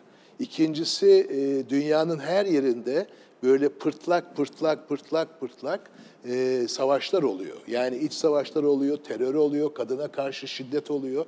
Yani şiddetin e, normalleşmenin önüne geçtiği, Hatta geçen hafta e, Viyana'da bir toplantıya katıldım. Yani bu savaşın e, özelleştiği, özel kurumların savaşları, özel şirketlerin savaşları götürdüğü ve şirket şiddetle güvenlik dengesinde şiddetin çok ön plana çıktığı bir şeydeyiz. Bu, bu öyle olunca da o zaman e, esasında bir taraftan büyük bir göç dalgası var, öbür taraftan ordular arası yani Birinci Dünya Savaşı, İkinci Dünya Savaşı'da gördüğümüz devletler arası oturmuş ordular arası bir savaş değil ama İşte bugün mesela biz Türkiye'de de çok kullanıyoruz. Asimetrik savaş diyoruz, proxy ve savaşları diyoruz, iç savaşlar diyoruz. Yani devletlerle devlet altı örgütler arasında yani dengesiz bir şekilde yapılan bir savaş var. İşte şehir savaşları mesela sadece biz Türkiye'de bu hendek savaşları olarak yaşamadık. Dünyanın farklı yerlerinde artık şehirlerde savaş yaşıyor. Evet. Şimdi öyle olunca yani bir taraftan e, esasında şöyle bir durumla karşılaşıyoruz. Kurumlar buna yanıt veremiyor. Büyük bir insan hareketliliği var, şiddet var ve bunun üzerinde bunun çözümü olarak ya kapitalizm globalleşmesiyle Taner Hoca'nın söylediği gibi o birlikte bağlantılık yapısıyla kendisini ekonomi anlamda yapılacak ki buna işte dördüncü ünde- sanayi devrimi deniyor, otomasyon ya o şekilde dünya gidecek, buna bir çözüm bulacak yahut da maalesef o anlamda e, artık sadece komplo teoricileri değil, ciddi anlamda ekonomistler de, uluslararası ilişkiler de, de tartışıyor. Belli bir savaşla, belli bir yani bir bir mücadeleyle yani Taner Hoca dedi ya teknolojiyle ya da savaşla çözer diye. Yani ya teknolojik gelişmelerle diyecekler ki biz bunu dengeleyebiliriz yahut da e, Kaçınılmaz bir savaş ama olacak. bunun da e, uluslararası ilişkiler pers baktığımız zaman şu anki iki aktörü Amerika ile Çin oluyor. O yüzden hiç şey değil, sürpriz değil ki bir tarafta ticaret savaşı, bir tarafta e, bir anlamda hegemonya savaşı yaşanıyor orada. Şimdi hocam bu yaşadığımız e, şimdi yeni bir normal olabilir, olabilir mi? Hani artık bundan sonra e, bu kaotik ortamda yaşamayı öğrenmemiz gerekiyor. Ya da bunu uzun süre ya da belirli bir süre böyle devam etmemiz gerekiyor. Şimdi iklim değişikliği var, onun tehdidiyle birlikte göç hareketlerinin konuşulduğu konu var. Teknolojinin çok hızlı gelişmesi nedeniyle arasında çok ciddi bir savaşın çıkma ihtimali var ki şu bugün Amerika ile Çin arasındaki bir savaşın nedeni de teknoloji savaşı. Dolayısıyla bu kaotik ortam ileriye dönük devam etmek zorunda mı ya da edecek mi? Bir çözüm bulunabilir mi? Bana kalırsa edecek, daha bir süre edecek. Yani bunu önümüzdeki sene, önümüzdeki beş sene içinde çözülmesi bana pek mümkün gibi gelmiyor. Ama e, büyük bir ihtimalle de sonuçta bir şekilde çözülecek ve bugünün aktörleri çözecekler onu. Yani arkadan gelen o güçte bir başka bir şey yok. Çin dahil. Yani Çin şimdi büyük oynuyor ama Çin'in öyle büyük bir hareketi götürecek bir şeyi yok. Ne iktisadi örgütlenmesi var ne iktisadi gücü var benim görebildiğim kadarıyla. Ee, Çin'deki şey parlak bir, bir, bir 10 sene kadar falan yüzde altı yedi gibi büyüdüler. Ee, bir zengin bir sınıf da oluştu orada. Çin'in derdi şey ama bu şeyi kaybetmeyelim. Küreselleşme yani pazarların genişlemesini, pazarların serbestleşmesini kaybetmeyelim. Niye? Çünkü serbest pazara giriyorlar. Girdikleri zaman kendi içerideki üretimleri de artıyor. istihdamları artıyor. Ona göre şey yapıyor ama bu yeni bir oluşumun peşine takar götürür mü? Sanmıyorum. Dolayısıyla bu, böyle bir şey var. E, bu e, sizin dediğiniz yani ne olur? Birkaç sene daha gidecek. Yani o yarına çözülmez. İki, e, şey arasında, ülkeler arasında ciddi bir şey var. Farklılaşma olmaya başladı ve küreselleşme bundan sorumlu tutuluyor. Hem ülke içinde, mesela şimdi diyoruz ya müthiş bir şey var. Göç hareketi var. Niye durup dururken göç hareketi oluyor? İnsanların, o ülkelerdeki insanların, bir de orada nüfus artışı da hızlı, onların birçoğu iş bulamıyorlar. Yani geçinemiyorlar. Dolayısıyla daha varlıklı yerlere gitmeye çalışıyorlar. Aslında küreselleşmenin başlangıçta söylediği, vaat ettiği şey bunun tam tersi. Dolayısıyla öyle öyle bir sıkıntı da var. Yani bu kaosu bir üç adım ileriye götürecek bir böyle bir sıkıntı da var. Ben demin söylemeyi unuttum aslında bana çok önemli gelen bir başka şey de var. Şimdi bakın şeyi serbestleştiriyorsunuz. Ticareti serbestleştiriyorsunuz. Bütün Sermayeyi. Bütün kapıları açıyorsunuz. İş gücünü hiçbir zaman serbestleştiremediniz çünkü iş gücü kendisi çakılı duruyor. Yani o pek öyle... Açsanız bile kendi de gitmiyor. Aynen yani e, gitmiyor. Parayı serbestleştirdiniz. Yani bu demin dediğim o finansın egemen olmasının nedeni tamamen serbest bir para dolaşımı var. Şimdi bu gelişmiş ülkelerin mali piyasalarının çok hoşuna giden bir oyun ama bizim türümüzde ülkelerde çok ciddi bir istikrarsızlık yaratıyor. Trilemma dediğimiz, üçlem dediğimiz, bu ikilemin İmkansız bilir, üçlem. imkansız üçlem. Şimdi e, üç tane değişkeniniz var değil mi? Bunların üçünü aynı anda kontrol edemiyorsunuz. Birini kontrol ediyorsunuz, ikisini kontrol ediyorsunuz. Üçüncüyü mutlaka bırakmanız lazım. Değil mi? Yani ben kendi paramı kontrol edeceğim dediğiniz zaman şeyi bırakıyor, e, bırakıyorsunuz. Sermaye. Öteki ikisini. Ve e, müthiş bir istikrarsızlık geçiyor. Şimdi demin dedim ya, ülkelerin birçoğunda kriz oldu. Türbülans, türbülans dedik. Nereden oldu derseniz, uluslararası para giriyor, çıkıyor. Girerken çok iyi. Herkes müthiş. Refah artıyormuş gibi. geliyor. Herkes mutlu. Tabii tabii. Aynen. Ben ona şey diyorum, madde bağımlılığı gibi bir şey. Çıktığı zaman da tam tersi oluyor. Mesela biz şimdi... Komaya sokup ki çıkıyor. Tabii tabii. Mesela biz şimdi son bir senedir falan çıkış yaşıyoruz. Ve ekonomi tam kitlenmiş vaziyette duruyor. Şimdi seçim meçim diye kimse dönüp oraya bakmıyor ama o günü geldiğinde bak- bakılacak herhalde. Ee, şimdi böyle bir problem de var. Bunu da bir şekilde çözmek lazım. Ee, dolayısıyla Evet. o sizin kaos diye tanımladığınız şey maalesef bir süre daha gidecek gibi. Yeni normal. Çünkü şey gibi şey de yok. Yani eski dönemde savaşıp çözüyorlarmış. Şimdi öyle bir şey de yok. Müthiş bir nükleer denge Bir var. de savaş olursa hani çok ciddi bir sorunla karşı. Yani nükleerden dolayı insanların ölümünün milyarlarca olabileceği. Tabii tabii tabii. tabii. Dolayısıyla Doğru. insanlık tarihi açısından da büyük bir kırım Doğru. olacak. Ona dehşet dengesi diyorlar. Ee, şimdi aslında bir az önce biraz değindik ama Zümrüt Hanım'la onu sormak istiyorum. Arkadaşlarımdan Vole, e, dünyada ayakkabı ile ilgili e, e, bir araştırma var. Onu da görürlerse, gösterirlerse onun üzerinden gidip biraz daha hem teknoloji hem de korumacılık üzerine de gideceğiz.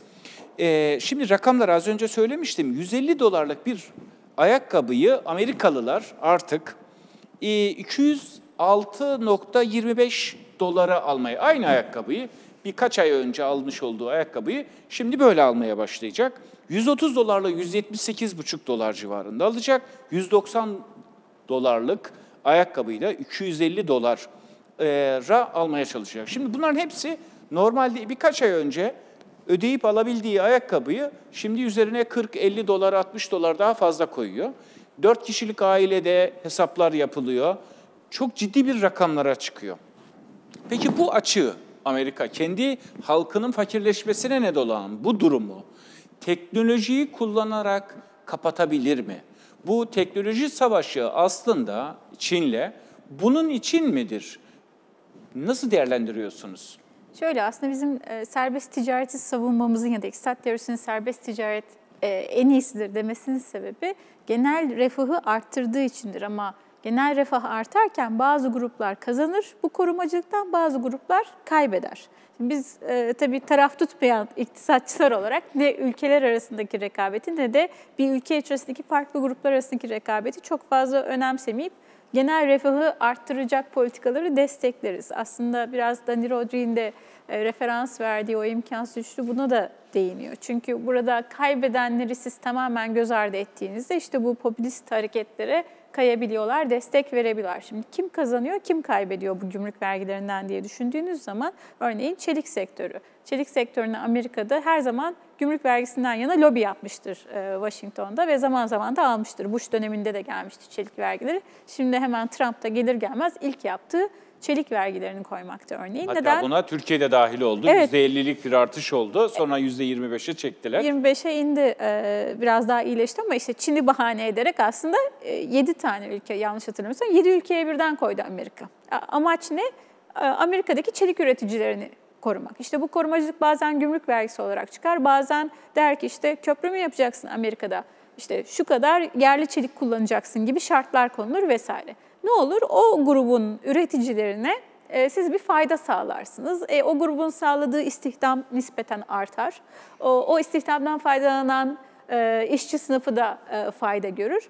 Ama yaptığınız köprünün maliyeti, yaptığınız bütün yapıların, inşaatların maliyeti daha pahalı olduğu için de genel tüketiciye ve devlete o daha büyük bir maliyete sebep olur. Attığınız taş ile ürküttüğünüz kurbağa arasında bir denge oluşmamış İşte oluyor. bunların toplamına baktığınız zaman maliyetler ağır basıyor ve gümrük vergisi koymak aslında ekonominin geneline zarar verici bir etki yapıyor. Şimdi yeni düzen derken eğer bunu dengeleyeceksek, eğer küreselleşme ve serbest ticareti savunmaya devam edeceksek e, bu kaybedenlere de bir şeyler vermeyi e, denemek zorundayız. Kendi haline bıraktığınızda ülkeler içerisindeki eşitsizlikler ciddi anlamda artıyor.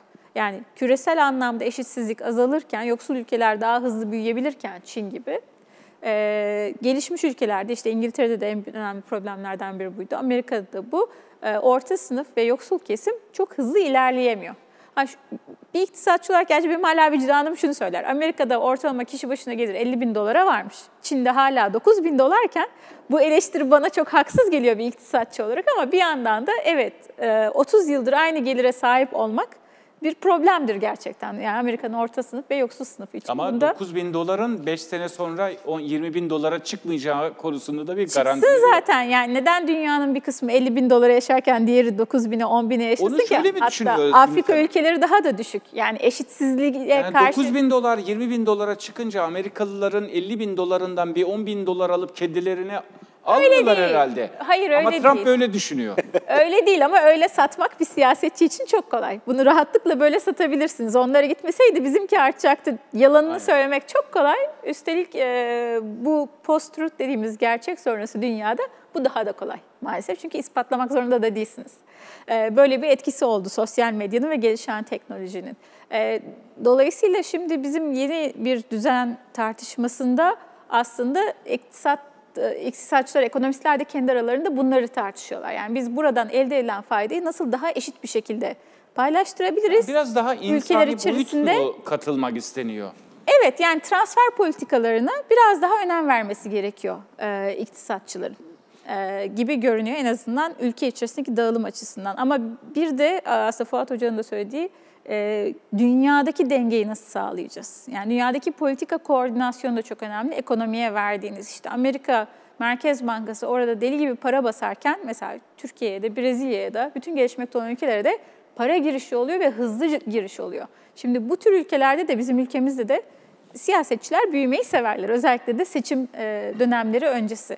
Dolayısıyla girişleri engellemeye yönelik bir politika yaptığınızda Aa, niye engelleyelim ki işte ne güzel para giriyor ve büyüme geliyor gibi düşünüyor. Ama işte o girişin bir de çıkışı olduğu için ve o çıkışta yıkıcı bir kriz ani olursa, hızlı çıkış olursa kriz getirdiği için aslında e, bizim ekonomi politikamızda hep şu vardır.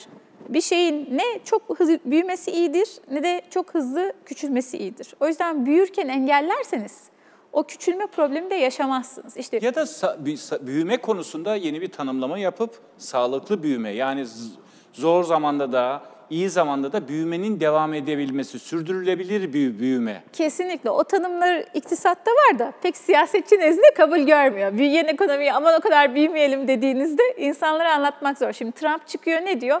Amerikan Merkez Bankası faiz arttırmasın diyor. İyi de senin e, Amerika geçen sene %4'e yakın büyüyordu. İkinci, üçüncü çeyrekte hatta birinci çeyrekte bile bu sene yüzde üç buçuk büyümüş. Şimdi bu Amerika'nın normal ortalama büyüme hızı yüzde ikidir. Yani. 4 büyümek, 3,5 büyümek demek ekonomi ısınmış demektir. Isınıyor demektir. Tehlikeli bir yere gidiyor demektir. Varlık fiyatları zaten o basılan paralar yüzünden Amerikan borsası vesaire balona dönüşmüş durumda. O yüzden Fed yavaş yavaş faiz arttırıyordu. Trump sürekli ne diyor? Ya niye kesiyorsunuz ne güzel büyüyoruz diyor. İşte bu krizleri hazırlayan en önemli faktördür. Şimdi bir noktaya geldik. Yani bu ilk program olduğu için biraz genel anlatmaya çalıştık, anlamaya çalıştık dünyada olup bitenleri. Şimdi mikro konulara biraz daha döneceğiz ama bir reklam aramız var. Reklam arasından sonra yeni dünya düzeni devam edecek.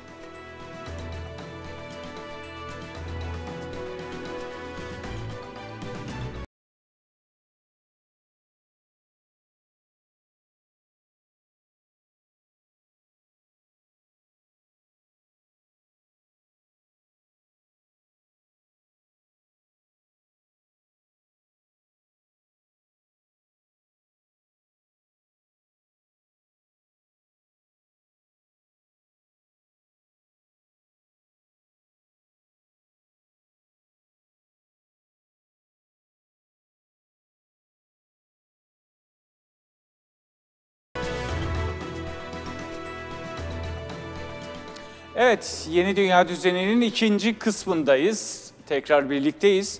Tekrar konuşmaya devam edeceğiz ama daha e, özel konulara girmeye çalışacağız. İkinci Dünya Savaşı sonrasından bugüne geldik ve gerilimler, çatışmaları konuştuk. E, şimdi bundan sonra dünya düzeni nasıl devam edecek? E, bir tarafta Amerika var ve şimdi ortaya çıktı e, Çin, e, Hindistan, Almanya, e, ciddi anlamda Rusya e, artık söz sahibi olmaya başladı. Amerika bu işten pek de memnun değil, hatta biraz da kızgın. E, bu kızgınlığının sebebini de anlamaya çalışıyoruz. Peki, şimdi burada üretim tarzları tartışmasına biraz girelim isterseniz. Çünkü sanayi ile birlikte hani kol gücüyle birlikte üretim yapılıyordu ve bu modellemede Batı çok ciddi bir üstünlük sağladı. Sonra e, küreselleşme ile birlikte farklı modeller ortaya çıktı. Şimdi bütün hani bizim volümümüzde de olan işte elektronik, rakamlar, e, teknoloji, e, bilgisayar, akıl, e, yapay zeka, ama bu bir anda Amerika'nın kontrolünden de çıkmaya başladı. İş daha da tehlikeli hale geldi Avrupa için ya da Amerika için. Dolayısıyla bu teknoloji savaşının e, artık Batı'nın kontrolünden çıktığını düşünebilir miyiz? E, dünyanın her tarafına artık bu internetle birlikte, teknolojiyle birlikte yayılmaya başlaması Amerika'nın hegemonya ya da liderliğini kaybetmesine neden olabilir mi? Yani tabii burada e, yani teknoloji ve o teknolojinin yani bilginin e, sahiplenmesi çok önemli bir e, tartışma ve çatışma alanı. Çünkü Amerika belki Çin'e karşı volümlerde, hacimlerde kaybediyor ama baktığımız zaman en önemli işte Google, Amazon, Microsoft, bütün o şirketlerde yani 1960'larda bilgi toplumuna geçiş vardı. Arkasından e, küreselleşme, şimdi dijitalleşme de. Yani artık hizmet sektörü ve bu dijitalleşme olan sektörler ilk sıraları alıyorlar. İlginç bir şekilde Amazon'un esasında trilyonu geçti. Belki de Türkiye bütçesinden daha da büyük şirketlerden bahsediyoruz. Şimdi burada esasında büyük bir çelişki var. Bir taraftan hakikaten e, bu, bu bir teknoloji büyük bir devrim, büyük bir sıçramalarla gidiyor. Hatta bazılarını ben takip etmeye çalışmıştım. E, Microsoft'un falan da katıldığı tartışmalarda e, 2045'lerde falan bu dijital dördüncü revolüsyon ya hatta tamamıyla dijitalleşme, otomasyon falan bunların hepsinin olabileceği yani 2045, 2050, 2000 yani o civarlar veriliyor yani çok uzak zamanlar değil esasında. Fakat e, öbür taraftan e, bu teknolojiyle e, toplumların hatta sadece Türkiye gibi değil Amerika toplumunun yaşamasına baktığımız zaman burada bir paradoks, bir ikilem çıktı. O ikilem de şu. İkinci Dünya Savaşı'ndan sonra Amerika'nın hegemonyasında hem Amerika hem dünya yeniden şekillendiği zaman bir Amerikan rüyası vardı. İşte ona biz mesela bir ev, bir araba gibi gidiyordu. Bir de orada şöyle bir de varsayım vardı. Bir de özgürlük vardı. E, tabii özgürlükler var ama bu senin sorduğun soruya bağlı olarak yani her Amerikalı ailenin e, bir evi, bir arabası, belli bir yatırımı olmakla birlikte o ailenin düzeyi daha iyi olacaktı. Yani anne baba her geçen nesil daha yükselecekti. Daha yükselecekti. Fakat şimdi burada bir taraftan ona olanak sağlayabilecek teknolojik gelişme oluşunca işte iPhone'lar, smartphone'lar, dijitalleşme bunlar bütün bu teknoloji oluşurken bunun tam tersi bir durum oluşmaya başladı. Amerika'nın orta sınıfları çökmeye başladı. Amerika'da e, Harvard Üniversitesi'nden Michael Sander'ın çok güzel bir kitabı vardır. Para her şeyi satın alabilir mi diye. Onun da alt başlığı sivik e, eğitimin çökmesidir. Artık Amerika'da çocukların ailelerinden daha iyi eğitim almaları mümkün değil. Çünkü Harvard'a mesela gittiğiniz zaman sadece okul ücreti olarak 4 yılda 400 bin dolar. Üzerine yani en az bir 600-700 bin dolarınız olması gerekiyor gibi. Yani 1 milyon doların Evet yani o zaman da ne gerekiyor. olmuş oluyor? Yani siz bunu da aşağıya doğru götürebiliyorsunuz büyük bir şekilde teknoloji ilerlerken sınıfsal yapı, Amerika'nın üzerine kurduğu bu orta sınıflaşmanın tamamıyla fakirleşmeye doğru gittiğini, toplumun büyük bir eşitsizliğe doğru gittiğini, hatırlarsanız birkaç yıl evvel Wall Street'te yani yüzde bir, yüzde 99 tartışması olmaya başlamıştı. Bu şu oluyor. Şimdi Trump'ı verdiniz siz. Trump'la Hillary Clinton'ın seçiminde Hillary Clinton'ın rakibi Bernie Sanders'tı. Bernie Sanders e, bu esasında Zümrüt Hoca'nın ve Taner Hoca hep anlatmış oldu. Amerika'da seçim kazanmak için siz büyütürsünüz. Bunun seçimlere yansıması pastanın büyütmesidir. Popülizm, milliyetçilik. Yani yok şey diyeceksiniz. Hayır, ya söylem olarak da büyüyeceğiz. Evet, Ha, evet. Biz büyüyeceğiz. Pastayı büyüteceğiz. Kimse pastanın bölünmesinden konuşmaz. Yani biz ben pastayı büyüteceğim diye kazanır. Şimdi ilk defa Bernie Sanders dedi ki kardeşim bu pastayı büyütmek ama pastanın yüzde doksanını yüzde on yiyor bir ise de konuşalım e diyor. o zaman ne olacak yani orta sınıflara ne olacak diye o siyasal devrim dedi buna. Yani ve siyasal devrim yapmamız lazım. Biz pastayı büyütmekten ziyade yani ekonomik büyümeden ziyade bizim pastayı paylaşmamız lazım. Aynen, Çünkü evet. korkunç bir eşitsizlik var. Şimdi Bernie Sanders'ın belki Hillary Clinton'a yenildi ama Hillary Clinton da Trump'a yenildi. Trump'a oy verenlerin yüzde 60 küsurunun ikinci tercihi Bernie Sanders'tı. Bu da şimdi biraz evvel sizin söylemiş olduğunuz, yani bir taraftan Trump bunu satıyor ama sattığı yerlerde, yani Çin bizim hepimizin e, şeyini alıyor dediği zaman esasında orada işte Amerika'da e, beyaz yakalılar, beyaz orta sınıf, beyaz işçi dediğimiz alan yani o işte Virginia'sı, Michigan'ı falan oralar çöküyordu. O dönemde e, Marksist bir yazar e, Thomas e, Piketty bir kitap yazdı. Dedi ki 21. Çok- yüzyılda da çok ciddi bir tartışma birdenbire o kitap e, Amerika'nın established yani merkezi ekonomistleri tarafından Paul Krugman'larından tut herkes bu kitabı tartıştı. Şimdi bunların hepsini anlamış şu oluyor. Demek istediğim yani sizin sorunuza yanıt. Yani bir tarafta teknoloji gelişiyor. Fakat teknoloji gelişirken Amerika gibi bir toplumda bile büyük bir eşitsizlik yaratıyor. Buna inequality diyoruz. Zaten bakın son dönemde ekonomicilerin yazdığı kitaba artık serbest pazar falan bulamazsınız. Inequality'dir. Yani eşitsizliğe biz nasıl yanıt vereceğiz? Çünkü Allah rahmet eylesin Cem Karaca vardır. Yani sen işçi doğarsan, işçi çocuğuysan işçi çocuğu olarak ölürsün. Köylü çocuğuysan köy, öyle bir şey vardı. İşçiysen işçi kal diyor. Evet. Fakat bu şimdi öyle oldu. Yani Piketty de esasında çok basit olarak şunu söylüyor. Kardeşim diyor bu ya yani kapitalizmin size verdiği söz esasında bir yalan. Çünkü sen çok üst sınıftan gelmiyorsan eğitim olarak da, iş olarak da bu, bu pastadan pay alamayacaksın. O yüzden de sen şu sınıflardan geliyorsan ileriye doğru gidemiyorsun. Bu kapitalizmin vermiş olduğu sözü tutmaması anlamına geliyor. Bir, yahut da yeni dünya düzeninde biraz evvel sizin söylemiş olmuş olduğunuz kapitalizmin ciddi bir sistemik kriz içinde oldu. Sadece bu o Asya ülkelerinde, sadece bu Afrika ülkelerinde değil. Orada tabii çok daha büyük yaşanıyor. Yani yüzde 47'ye varan e, oranda günde 2 dolarla yaşayan insan var dünya nüfusun. Ama Amerika'da da gidin Amerika'ya bakın yani büyük bir eşitsizlik var. Herkes tabii New York olarak görüyor Amerika'yı ama Değil. Amerika'nın ortasına O doğru yüzden gittiğiniz de zaman yani korkunç e, bir tabloyla Tabii karşılaşıyorsunuz. yani sırf e, kimlik siyasi diyoruz ya, bunun kimlik siyasetinin sınıf siyasetiyle birleşmesinin nedeni yani siyahsanız aynı zamanda eşitsizlik olarak alt sınıfsınız. Öyle olunca da bu inequality, eşitsizlik artık bugünün dünyasının teknolojik gelişmeye yanına yapışmış bir şey. Bu dünya bunu çözebilecek mi? Şimdi burada e, bir tez, burada bırakayım ben çünkü biraz ekonomici olmak lazım buna yanıt vermek için. Bir tez şu diyor, teknolojiyle ben bunu çözerim. Yani hatta buna şey deniyor, eğer insanlar işsiz kalacak ise, büyük bir eşitsizlik olacaksa teknoloji öyle bir birikim yaratacak ki ben onlara çalışmasalar bile belli bir oranda bir aylık veririm. Yani Bu da, bu paylaşmak demek. Şu anda mevcudu paylaşmayan, ileride Ama daha çok bu tür çalışmalarda var. Mesela Finlandiya bunu yapmaya çalıştı filan. Çünkü hakikaten bu teknoloji gelişmesi, robotlaşma, otomizasyon bir taraftan da işsizliği getirdiği için, eşitsizlik de olduğu için dünyada mesela Türkiye'de çok meşhur oldu.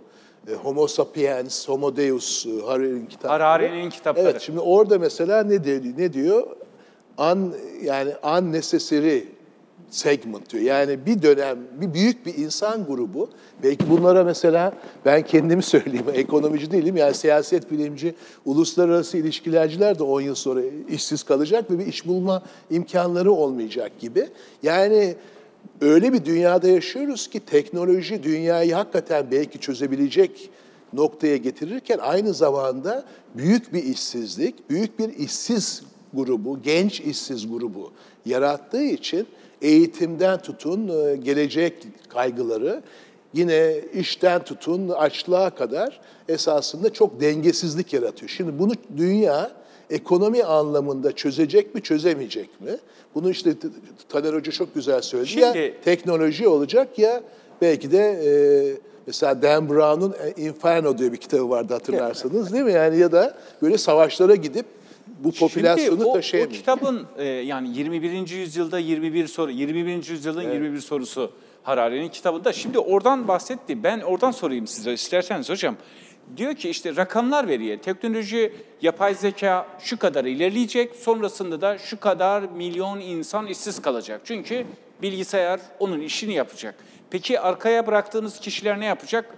Valla orada çok üzgünüm diyor. Kitabın en önemli kısmı belki de e, tarihin sonu teziyle çok paralel gidiyor.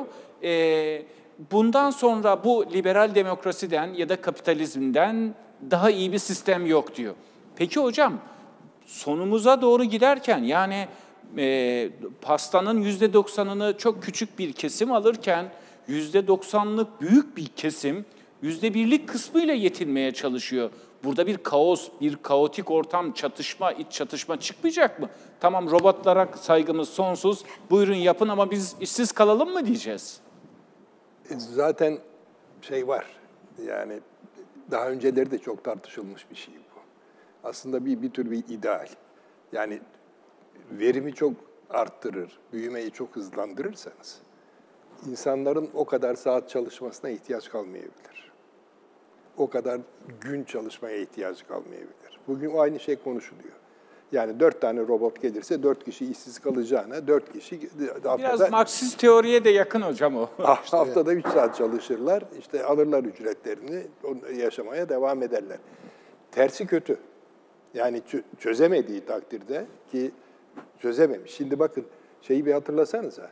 İkinci Dünya Savaşı'nın öncesini, Hitler'in ortaya çıkışını, nasıl Hitler'i alıp çıkarıyorlar yukarı? İşte sokaktaki adamlar. Yani şeyden, yaşadıkları hayattan memnun olmayanlar. Bu şey, küreselleşme dediğimiz olay, e, hızla yaşadığı hayattan memnun olmayan bir sürü şey yarattı. Şimdi ya bunları şey yapacaksınız, bir şekilde halledeceksiniz. İşte benim bildiğim şey, günde 8 saat çalışacağına 4 saat çalışacak. Haftada 7 gün çalışacağına 3 gün çalışacak mesela. İşte benzer bir para vereceksiniz. İşte o kendi şeyine bakacak, çaresine bakacak. Aksi takdirde bu teknoloji dediğimiz şey dağıtıcı bir şey. Yani şeyi dağıtıyor, sosyal düzeni de dağıtıyor. Ee, e, tahmin ediyorum öyle bir tarafa doğru gider. Yoksa çok büyük bir açmaza düşer dünya. Savaş da çözecek yine, başka çaresi yok. Değil mi? Hocam her akşam televizyonlarda işte ya Amerika'da ya Uzak Doğu'da fark etmiyor artık yeni bir robot yapay zekanın ortaya çıktığını, tabii, tabii. şu kadar bin kişinin yaptığı bir günlük işi şu kadar robotun yapabileceğini konuşuyor, tartışıyoruz. Evet, evet. Ee, uçaklar, şoför, araçlar bilmem neler bunların hepsi üretim bandı diye bir şey kalmadı artık. Onlar da robotlar ama sonunda şöyle bir ileriye dönük perspektif çizilmiyor. Tamam bu robotların işsiz bıraktığı insanlara robotların işte her biri bin tane iş insanın da e, gelirini karşılayacak diye bir tartışma yok. Yine pasta yine küçük bir kesimin elinde toplanmaya başlıyor. Tabii tabii. tabii, tabii. O zaman tek seçenek az önce söylediğiniz büyük bir savaş ya da çatışma mıdır bu kırılma? Yani şu olabilir. Oldu işte İkinci Dünya Savaşı'nda oldu. Değil mi? Ee, daha böyle atak, e, çok şey risk almayı seven, çok ince düşünmeyenler siyasete egemen olmaya başladı. Öyle mi? Sen siyaset bilimcisi. Ve onlar da oradan şeye götürüyorlar. Çatışmaya götürüyorlar. Trump? Şu anda, evet. Trump falan hepsi. Şu anda mesela Orta Doğu'da olan şey küçük bir savaş. Ve süreklilikte kazanmış vaziyette. Bu herkesin işine geliyor. Yani sen New York'ta rahatsın, burada işte Orta Doğu'da, Suriye'de, Muriye'de itiş kakış bir şeyler oluyor. Ee, ama iş şeye gelirse, yani e, şey, akıl, insanları devre dışı bırakmaya başlarsa insanlar ne olacak? Ya daha ne kadar güzel ya, yapay zeka devreye girdi. Biz şimdi yapay zeka Çok mutluyuz. çok mutluyuz. E, e, nasıl olacak bu iş? Hırs çıkar. Peki e, Zümrüt Hanım, şöyle bir algı var. Az önce tartıştık. E, vergileri artırırız, Amerika, Trump. E, ülkenin ekonomisini güçlendiririm ve sizin fakirleşmenizi önlerim. Peki bu vergiler e, insanların zenginleşmesine ne kadar faydası oluyor? E, bir de cari açık tartışması var. O bizim Türkiye'nin de ve gelişmekte olan ülkelerin de sorunu. Amerika'nın çok ciddi bir cari açığı var ve bunu zaten kapatmak için Çin'le duvarlar örmeye başlıyor, vergiler yükseltiyor. Buna bir çare olacak mı?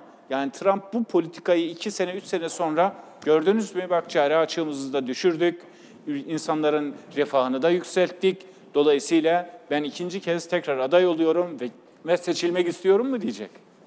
Şimdi bunu e, yapması mümkün değil. Zaten cari açık dediğiniz şey aslında bir tasarruf, e, yatırım e, açığıdır. Dolayısıyla sizin yatırımlarınız tasarruflarınızdan fazlaysa cari açık verirsiniz. Yani biz bunu hep ticaret açığıyla bağdaştırırız ama onlar aslında arkasında yatırımların tasarruflarınızdan daha fazla olması e, neden olur. Bunun karşılığında ne yaparsınız? Yatırımlarınız daha yüksekse tasarrufunuzdan gider yurt dışından borç alırsınız. Yani size bir sermaye akımı olur. Cari açık dediğim şey de aslında budur. Şimdi burada e, iki türlü cari açık kapanabilir. Gümrük vergisiyle kapanmaz bir kere. Gümrük vergisi koyup ithalatınızı durduracağınızı zannedersiniz ama o daha çok yatırımlarınızı durdurur. Çünkü talep azalacağı için, sizin mallarınız daha pahalılaşacağı için yatırımlar azalır. O zaman cari açığınız düşer ama... Yatırımlar azalınca hocam şöyle bir şey olmuyor mu? Yatırım azalınca istihdam konusunda e, sıkıntı yaşamaya başlıyorsunuz. Aynen öyle. E, işsizlik artıyor. İşsizlik artınca e, finansal sistem krize giriyor. Çünkü krediler var, vergiler var, onlar ödenmiyor. Dolayısıyla böyle bir e, sıkıntıyla da karşı karşıya Kesinlikle. kalıyoruz. Dolayısıyla cari açığı kapatmak istiyoruz ama bunu ekonomideki yatırımları baskılayarak, ekonomiyi küçülerek küçültmek istemiyoruz. E, değil mi? Yapısal bir değişiklik yapalım, daha verimli bir ülke olalım ki hani bizim e, şeylerimiz, yatırımlarımızın getirileriyle o borcu ödeyebilelim. Asıl bizim amaçladığımız şey bu. Dolayısıyla cari açıkta da aslında problem e, bunun e, fazla yüksek olmasıdır. Onu makroekonomik politikalarıyla dengelersiniz zaten. E, ama gümrük vergileri yoluyla cari açık problemini çözebilen bir ülke ben tanımıyorum. Öyle bir şey olsaydı herkes yapardı zaten. Bunun faydası olmadığını, uzun vadede tam tersi sonuçları elde edildiğini gördüğü için insan, pek çok ülke yapmıyor, uygulamıyor. Zaten kendi gümrük vergilerinizle e, diyelim ki Amerika'daki, Meksika'daki yatırımları Trump Amerika'ya çekti değil mi? Bunu amaçladığım şey bu diyordu zaten. Yani Amerika'da imal etmeye çalışırsanız Çin'de imal ettiğinizin belki beş katı daha katı, pahalıya katı. Evet. e, imal evet. edeceksiniz. Kime satacaksınız sonra onu? Zaten müthiş bir rekabet var dünyada. Pek çok işte bir cep telefonu markası üzerinden bile konuşabiliriz. Onun müthiş üretimleri var e, Çin'de. Şimdi siz onu getirip Amerika'da düşünün Çin'deki işçilik maliyetini, Amerika'daki işçilik maliyetini karşılaştırın. Amerika'da imal ederseniz o şirket küçülür. O zaman şöyle 1000 dolarlık bu telefon e, Amerika'da üretilince belki 2500 dolara çıkacak. Aynen 2500 dolara çıkınca dünyadaki satış Satışı düşecek. sayısı çok ciddi düşecek. Yani belki siz Amerika'daki işçiyle bunu yapacaksınız ama çok daha küçük e, rakamlar satacaksınız. E, o zaman o şirketin küçülmesi dolayısıyla ekonomi içinde bir küçülme ima eder bu, bir büyüme ima etmez. E, bütün bunları tabii iktisat teorisini bilmeyen insanların anlamasını, sokaktaki insanın böyle düşünmesini, siyasetçinin böyle düşünmesini beklemek imkansız. E, bu birazcık hem e, bence e, bunu açıklaması gerekiyor. İktisatçıların biraz daha bence e, sesli düşünmesi gerekiyor. Bunları anlatması gerekiyor ama bu biraz da siyasetçilerin de işi. Yani bir siyasetçi alıp bundan bahsediyorsa karşısındaki politikayı savunan siyasetçinin de bunları anlatması, açıklaması gerekiyor. Az önceki tartışmayla ilgili küçük bir şey eklemek istiyorum. Şimdi hani robotlar vesaireler gelecek, işsiz kalacak insanlar, bu insanlara gerek var mı yok mu? Maalesef bu kitaplarda vesaire de çok tartışılıyor. Ee, Bu geçmişte de çok tartışıldı. Otomasyon e, nereye götürür e, diye ama bugün Amerika'da işsizlik oranı 3.6. Tarihindeki en düşük işsizlik Evet. oranı Amerika'daki. Ki bu kadar dijital, bu kadar teknolojiye rağmen. Büyüme hızı yüksek. Yani büyüme hızı yüksek.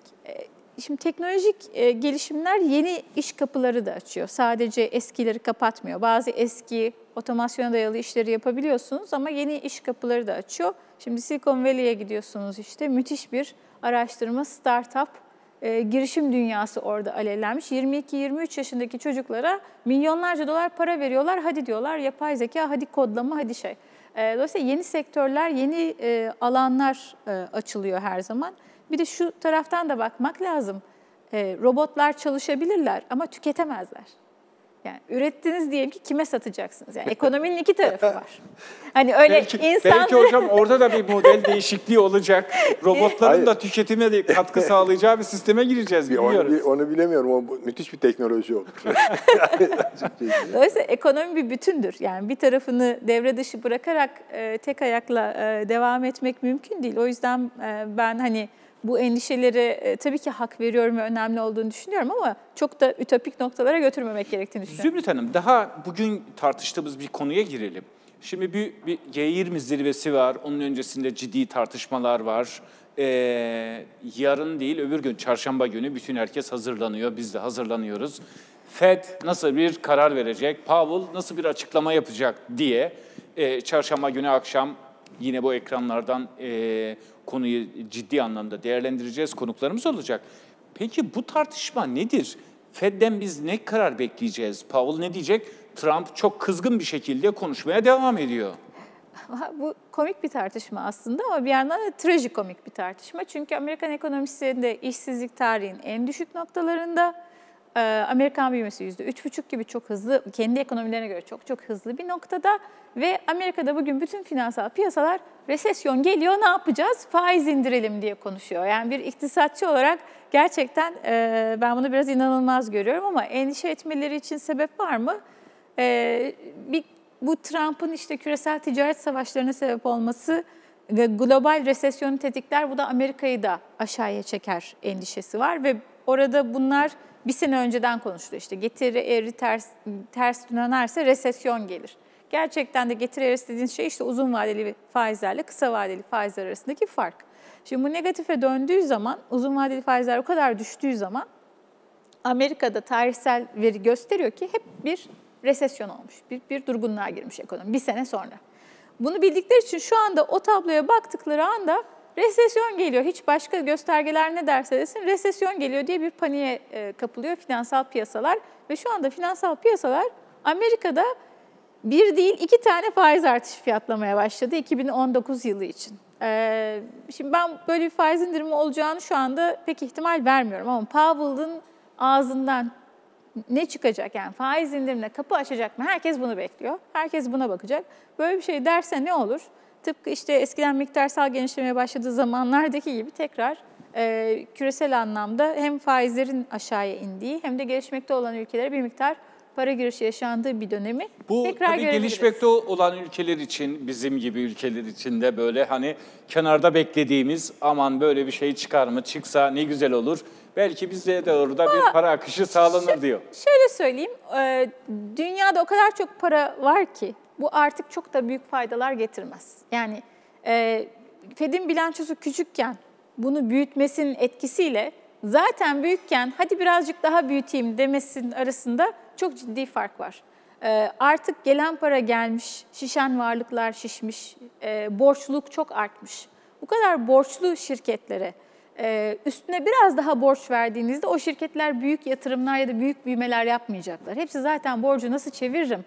Bir iki yıl içerisinde bunlar daha da geriye doğru e, sermaye tekrar geri dönecek diye endişelenmeye başlamış noktalar noktadalar. Dolayısıyla şu anda yeni yatırım ve istihdam yaratma kapasiteleri yüksek borçluluğu olan ülkelerde ve şirketlerde çok çok düşük. Yani 5 sene önceki gibi değil durum. O yüzden 5 sene önce bastığınız paranın etkisiyle bugün bastığınız paranın etkisi aynı olmaz. Çok da fazla büyüme anlamında bizlere bir faydası maalesef olmaz. Ancak varlık balonlarına sebep olur.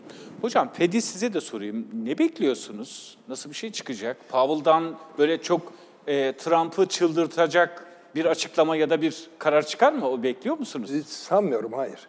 Ee, şimdi e, şöyle geriye dönüp baktığınız zaman FED kendi parasını yönetmekte gayet dikkatli, çok itinalı.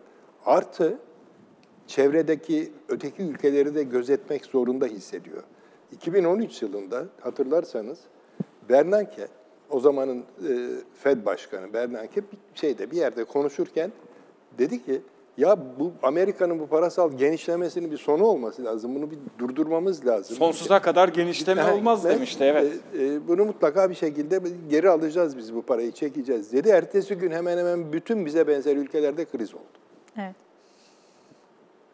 Bu Bernanke onun üzerine dedi ki aman ha biz, biz sadece biz kendimizi düşünerek şey yapamayız parayı, doları yönetemeyiz. Dolayısıyla bakacağız. Şimdi Trump'ın öteki ülkelerde ne olduğundan çok fazla ilgisi yok açıkçası. Ama şeyin var. Fed'in hala var o ilgisi. Çünkü Fed de diyor ki ben parayı düzgün yönetemezsem, dışarıda bir şey olursa, sıkıntı olursa esas Amerika'nın o zaman canı sıkılır. Yani zaten Çin gibi bir belayla uğraşıyorsun. Bir de de ki bu gelişmekte olan ülkelerin hepsi birden çökmüş. E, iyice beter hale gelirsin. Onun için Fed'in biraz daha temkinli e, olacağını düşünüyorum. Ama Uzun bu, vadede ne- nasıl bir politikası olur hocam? Hani bugün, yarın değil öbür gün bir açıklama, bir karar bekliyoruz ama bugüne kadar uygulamış olduğu politikayı belki bir, bir süre sonra yavaş yavaş regüle etmeye, değiştirmeye, Trump'ın bütün kızgınlıklarına, şiddetine rağmen devam ettirebilir ya da değiştirebilir mi? Değiştirir, değiştiriyor da zaten. Bakın e, bu şeyden sonra, söylediğim Bernanke şeyinden sonra belli bir noktada faizi yükseltmeye başladılar. Faizi yükseltmelerinin nedeni parayı toplayacaklar. Yani para miktarını azaltacaklar. Azalan para miktarı faizi yukarıya doğru itiyor. Bir noktada baktılar ki o öyle giderse kendisi de durgunlaşacak, şey de durgunlaşacak. Çevredeki öteki ülkeler de durgunlaşacak. Durdu. Şimdi indirim yani faizi indirmeyi düşünüyorlar. Orada Trump'la bir uyumları olur bir noktada ama şu e, aşamada değil diye düşünüyorum. Peki bu faizde diyelim 25 baz ya da 50 baz eee, puan indirim söz konusu olursa bu uluslararası piyasalar için iyi bir şey midir? En azından bir Zaten- öğün yemek çıktı mı derler. Hayır, e, e, muhtemelen yanakları kızarır biraz. Dolar biraz değer kaybeder. Ee, küresel olarak dolar biraz geriler. Ee, ama geçici Biz olur. ve bizim gibi ülkelere bir sıcak para girişi Çok büyük girişler olmaz. Artık olmaz. Yani biraz Türkiye'nin kendi politikalarıyla da alakalı bir şey. Yani biz e, bazı noktalar özellikle borçlanma konusunda özel sektör borcunda biraz fazla ileri gittik. Onlar orada e, dururken biz daha banka bilançolarını temizlemeden e, çok büyük para girişleri olmaz. Ama bize zaman kazandırır. Bizim için faydalı olur tabii ki. Peki e, Fuat Hocam sizinle e, bir konuyu daha soralım. Sorayım size. Şimdi önümüze e, ileriye dönük olarak 2030 perspektifi, 2050 perspektifi, hatta geçenlerde birkaç yerde okudum, 2100 perspektifleri çiziliyor. Tabii bunlar böyle hayal dünyasında şöyle olabilir falan denilmiyor. Ciddi araştırmalar ve onun arkasında ciddi e, raporlamalar üzerine, veriler üzerine yapılıyor. İki araştırmaya baktım. Çok farklı. Bir tanesi Almanya verili bir araştırmaydı. Bir tanesi Amerika. Her ikisinde de 2025'ten sonra bu ticaret savaşları başlamadan önce yapılmıştı 2030. Ee, 2025'ten sonra ekonominin birçok asetinde yani %70, %80 civarında Çin tartışmasız bir şekilde liderliğe oturuyor. 2030'a geldiği zaman e, hani Amerikan hegemonyası dediğimiz güçlerden işte silahtı, sinemaydı, müzikti, e, ekonomiydi, üretimdi, teknolojiydi bunların büyük bir çoğunluğunu silah hariç, güvenlik hariç herhalde onun dışındakileri bütününü yine Çin elde ediyor. 2050 zaten daha ileride. 2030'da şöyle bir perspektif var. 104 trilyon dolarla Çin birinci, e, 196 trilyon dolarla Hindistan ikinci, 194 trilyon dolarla Amerika üçüncü sıraya geçiyor. Dolayısıyla bu kavganın nedeni de bunun olduğu yani ticaret savaşlarının.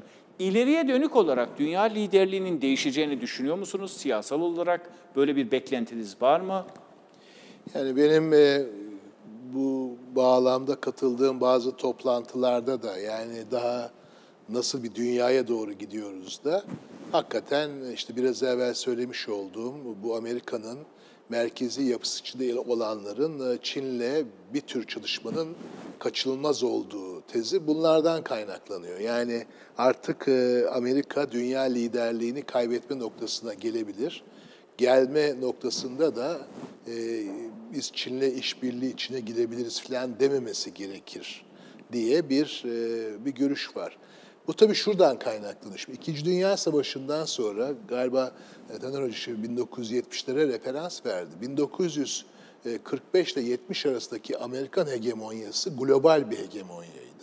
Ve bu esasında Marshall yardımıyla, diğer yardımlarla esasında Amerika kendi çıkarını diğer ülkelerin çıkarı olarak satabiliyordu. Yahut da diğer ülkeler karar aldıkları zaman bu Amerika'nın çıkarını oluyordu. Yani stratejik kısıtlama yahut da sınırlama dediğimiz şey. Fakat bu çok pahalı bir şey hegemonya. Yani bunu yapmak o kadar kolay değil. Ondan sonra bunun belli bir düş Dünyada biz e, küresel bir hegemonyadan söz edemeyeceğiz. Yani Amerikan hegemonyası dediğimiz zaman zaten daha böyle bir bölgesel hegemonyadan.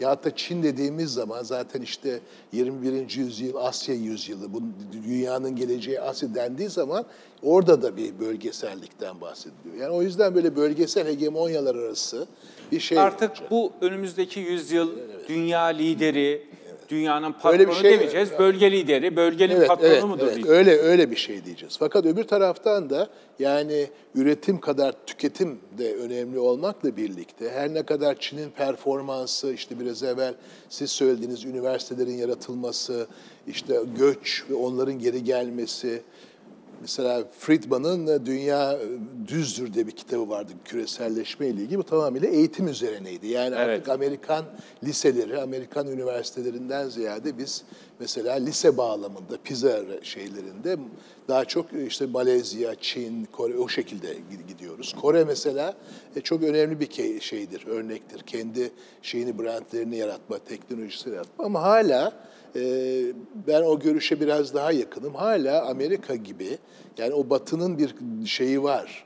Ee, bir decline'e, bir, bir aşağı doğru gitmesi var. Öbür ülkelerin güçlenmesi var ama bu teknoloji üretmekte hala burada bir batının gücü var. Yani o orada e, gelişmekte olan ülkeler bunu sağlayacaktır demenin bir şeyi yok. Fakat e, bu şunu e, anlamlandırmıyor. Mesela e, çok önemli bir tartışma şuydu bu, bu programa da onunla başladım. Yani Henry Kissinger gibi şu söyleniyor. Yani bu İkinci Dünya Savaşı'ndan sonra kurulu düzenin artık bir sonuna geldik. Yani Trump gibileri e, her yerde, Modi mesela Hindistan'da, işte e, Çin, e, Rusya, Putin, Türkiye, Erdoğan, Orban, Trump, Brezilya falan baktığın zaman o şunu diyor. Bunlar bir e, şey değil. Yani bunlar bir itici faktör değil. Bunlar bir şeyin sonuçları. Yani öyle bir hale geldi ki o sonuçlar bunları üretti. Yani e, söylediği gibi yani bunu satmada bu adamlar. Yani bir tarafta elini taşın altına koyanlar var. Bir tarafta da popülistler var. Şimdi popülistler dediğimiz bu esasında. Ama Trump'ı yani, da doğuran hocam yani Trump doğurandan kastım onu iktidara getiren de Obama'nın e, işte son onlar, dönemdeki tabii, tabii, politikaları onlar, değil mi? Onlar oluyor. Yani yani dikkat ederseniz bakın yani Trump'ın kazanması aynı zamanda Hillary Clinton'ın kaybetmesidir. Aynen, evet. Yani e, orada o tartışma yapılmıştır. Yani kazanıldı mı, kaybedildi mi üzeri üzerine. Ama yani e, şu da vardır. Yani Amerikan seçimlerine bakarsanız özellikle işsizlik oranlarında 9'un üzerine çıktığınız zaman kaybedersiniz. Aşağı indiğiniz zaman kazanırsınız. Yani Trump'ın bundan sonraki 2020 seçimlerini kaybedeceği diye bir şey ancak ilk defa belki Amerika tarihinde ekonomik verilerden daha çok bu Rusya ile ilişkiler, dünya o, o anlamda belki olabilecek. Ama yani şu andaki veriler değil mi kazanma şansını gösterebiliyor. Yahut da e, o resesyon yani demokratik resesyonla ekonomik resesyon arasındaki dengeler başlayacak. Ben ama şunu, şunu söyleyeyim yani burada dünya e, ya bu programın ismini belki soru işaretiyle olabilir. Doğru doğru vermişsiniz. Yani burada bir dünyada düzenle ilgili ciddi bir e, şey var. E, problem var. Mesela e, bu tabii bunu tartışalım diye söylemiyorum ama mesela Türkiye güvenliği ile ilgili S-400 füze sistemini almak istiyor. Buna karşı deniyor ki ya sen ya NATO'yu yani Batı'yı seç ya Rusya'yı seç. Şimdi bu ne demektir? Dünya sisteminde Türkiye'nin yeriyle de ilgili yani almış olduğunuz bir şeyle dünyada neredesiniz? Orada bir bağlantı olmuş oluyor. Yani o yüzden de bizim gibi ülkelerin e, bu süreçte bu düzen büyük güçlerin birbirleriyle ilişkileri, hareketler bunları çok dikkatli izlemeleri gerekiyor. Mesela bizim şeyde çok bu son yıllarda izlenmediği için esasında bugün bir sıkışma noktasına gelmiş oluyoruz ve karar almada biraz çok e, zorlanıyoruz. Bu ne anlama geliyor? Türkiye'nin yapmış olduğu hatalar kadar esasında dünyanın düzeni, dünyanın ekonomisi, dünyanın yönetimiyle ilgili rahat bir dönemde değiliz. Mesela 2002 yılında belki 11 Eylül oldu, ondan sonra e, dünya bir savaşlara doğru gitti ama küresel ekonomi anlamında ki AK Parti'nin şimdi bakın yani o dönem küreselleşmenin rahat olduğu bir dönemdi. Bir de potansiyellerden hani her taraftan böyle dolar Evet, fışkırıyordu evet, yani. ama- Piyasaya dolar ama giriyor, şimdi, e, insanlar çok- paradan memnun. Çok güzel söylendi Evet. sizin sorunuza e, yanıt olarak ama şu anda potansiyellerden daha çok risklerden bahsediyoruz ve o paranın gelmesi de öyle kolay değil. O yüzden yani siz artık onu bekleyerek e, kendinizi konumlandıramazsınız. Yani çok daha riskli ve zor bir dünyada yaşıyoruz. Taner, e, Taner Hocam şöyle bir şey var. Ee, Şimdi biz hani soğuk savaş bitti. Artık küreselleşme hızlı bir şekilde genişlemeye başladı ama hani Doğu ve Batı ayrımı, e, Rusya Amerika ayrımı e, o ilk e, şeyden sonra hızlı bir şekilde dağılmaya başladı. Ama bugün ilginç bir şeye geldi. Trump Rus deyince eski kızıl tırnak içinde kızıl komünist olarak algılıyor. Hatta Merkel'i çok açık olarak tehdit ediyor. Eğer Kuzey Akım projesinden e, Rusya'dan doğal gaz alırsan bunun çok ciddi yaptırımları olur diyor. Amerika'nın kendini koruma ve kollama e, şeyi var. Bunun içerisinde sizi de alırız diyor. Dolayısıyla enerji üretim için, bugün dünyanın için doğalgaz çok çok önemli. E, dolayısıyla e, petrol hani zaten dünyada ihtiyacı yok. Kaya gazından Amerika çıkarıyor. E, peki bu değişen bir şey yok mu? Rus, eski Rus, biz de eski Amerika'yız. Oradan gaz almayın. Yoksa bizim düşmanımıza destek oluyorsunuz. Düşman, dost nasıl değerlendireceğiz bunu? E şimdi, tabii şimdi geçtiğimiz süreçte hemen hemen eskiyle ilişkili her şey belirsiz hale geldi. Yani bir şekilde tabanı olmayan hale geldi. Bu e, Trump'ın şey yaptığı, özellikle Ruslarla yaptığı şey Çinlerle de yapıyor arada bir, Meksika ile yapıyor. E, biraz abartılı, biraz teatral geliyor bana aslında. Dikkat ederseniz bunu teatral bir şekilde bağırıyor, çağırıyor, şey yapıyor. Ondan sonra işte 50'yi 20'ye indiriyor. Meksika'ya özel ayrıcalık tanıyor. Bilmem ne yapıyor. Bize geliyor, bize sataşıyor falan filan. Bu tamamen şey, e, yani kendi Amerika'daki siyasi konumunu pekiştirip durabilmek için yaptığı bir şey. Ama e, Rusya'nın eski bir şeyi yok. Şimdi bir ufacık bir şey. e, Buyurun lütfen. Şimdi Çin alacak, götürecek, işte dünyada birinci ülke olacak, bilmem ne yapacak, güçlenecek falan filan. Şeyi hatırlıyor musunuz? Bu Sovyetlerin en güçlü olduğu dönemde ne konuşuluyordu? Bunlar Am- Amerika'yı paspas yapacaklar diyordu. Amerika'yı 10 sene içinde bunları paspastan beter hale getirdi. Değil mi? Tasfiye ettiler. Ee, Çin kendisi içeride o kadar şey değil. Ee, Yani dışarıya karşı güçlü duruyor ama içeride tamamen baskıyla du- duran bir şey. Ee, Ben şahsen baskıyla bir topluluğun ilanaya gideceğini hiç düşünmem. Yani şunu Diğer- söylemek istiyorsunuz hocam? Çin bu yapısıyla, bu siyasal, otoriter yapısıyla, tek parti e, yapısıyla e, bundan daha fazla ekonomik olarak büyüyemez. Hayır, da büyür. büyürse bile çok daha fazla ileriye gidemez. Büyür. Büyür de konuşulduğu şekilde bir iddia sahibi olması bana zor gibi geliyor. Yani şimdi dikkat ederseniz birbirlerine karşı kullanıyorlar e, şeyde. Yani şey diyor ki Trump diyor ki aman bak Çin, Çin ben gidersem Çin gelir hepinizi e, şey yapar, baskı altına alır. Öteki diyor ki işte Çin e, teknolojiyi geliştirirse sizin elinizden mal üretiminizi alır vesaire. Yani Çin öyle bir şey gibi kullanılıyor. Ama e, ben şeyi düşünmüyorum açıkçası. Çünkü milyonluk bir ülke değil mi? E, şey var yani açlık düzeyinde yaşayan çok geniş bir kitlesi var. Şu anda şeyde olan, e, sahnede olan da işte gelişmiş, e, iyi yaşayan falan bir Çin kitlesi var. E, bunun dünya egemenliğini yapabileceğini sanmıyorum. Çok büyük bir ülke olduğu için yani iğne üretse işte belli bir miktar şey oluyor. Onun gayri safi milli hasılası. Bir buçuk milyar hocam. Heh, gayri safi milli hasılasına öyle bir katkı oluyor. Bizde şimdi üç tane iğne üret hiçbir işe yaramaz. Yani Ölçek ekonomisinden faydalanıyor. tabii tabii. Yani e, Herkes bir kravat takmaya başlasa hocam e, bir, bir milyar civarında kravat üretmeniz tabii, tabii. gerekiyor. Çince bir kitap yazmaya Aynen. çalıştınız diye. aynen, aynen, aynen. Onun için şu anda o bana abartılı geliyor ve bilerek kullanılıyor gibi geliyor. O, e, size şunu sormak istiyorum. Şimdi burada e, petrol üzerinde de hani petrol fiyatlarını biraz da konuşalım.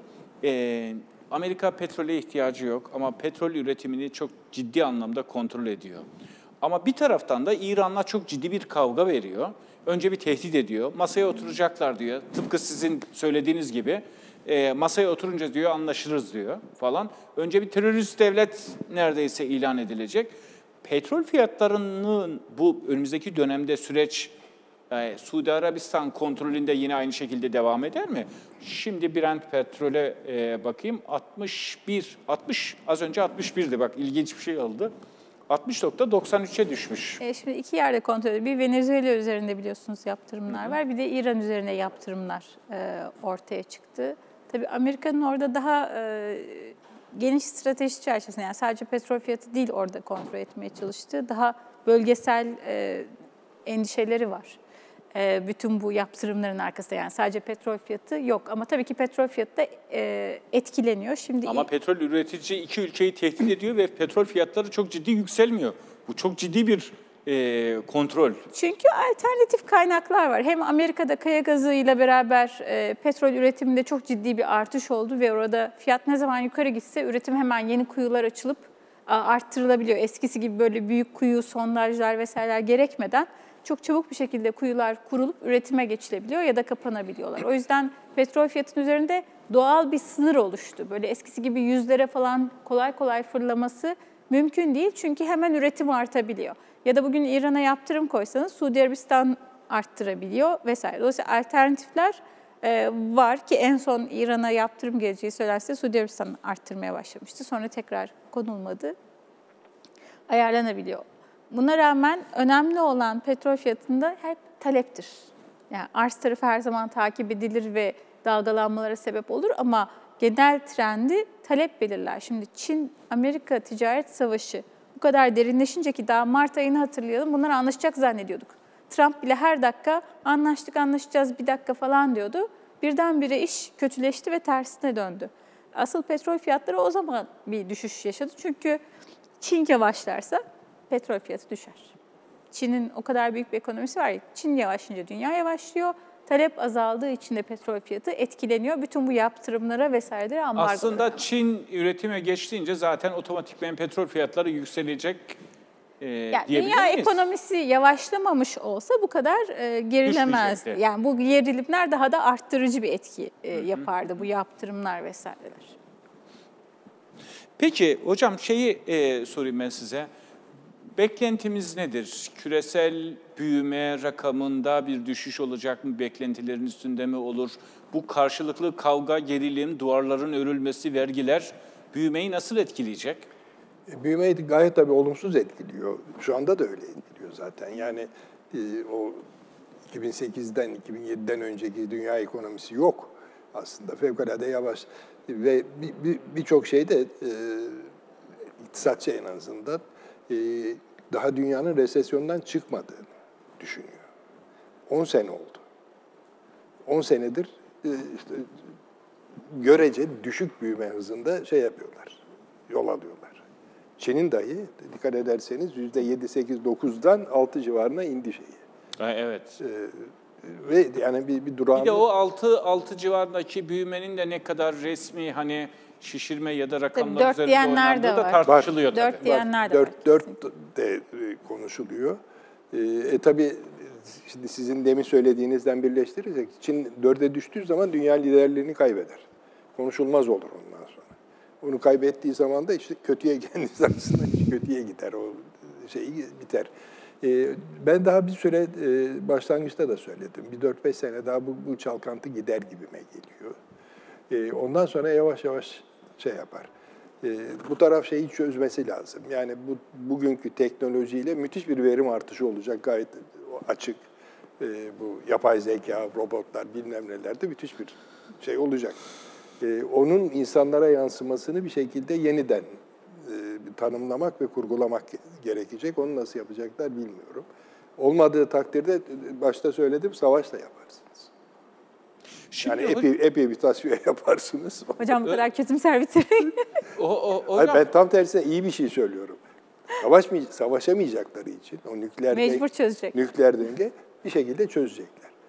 Benim aklıma gelen, daha önceden de tanık olduğum, konuşulmasına da tanık olduğum şey, 7 gün çalıştırmayıp 4 gün çalıştırırsınız. Aynı ücreti verirsiniz. Hocam orada şöyle, e, hümanist kapitalizm diye bir kavram ortaya çıkmaya başladı. Hani kapitalizmin biraz daha insanlaştırılması, inca, insancıllaştırılması üzerinde.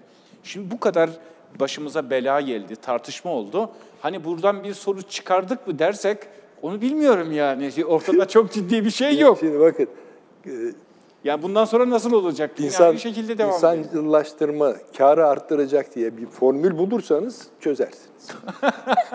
Onun dışında şey olmaz. Evet. Yani kapitalizmin öyle bir Peki son e, e, Fuat Bey sizinle bitirelim.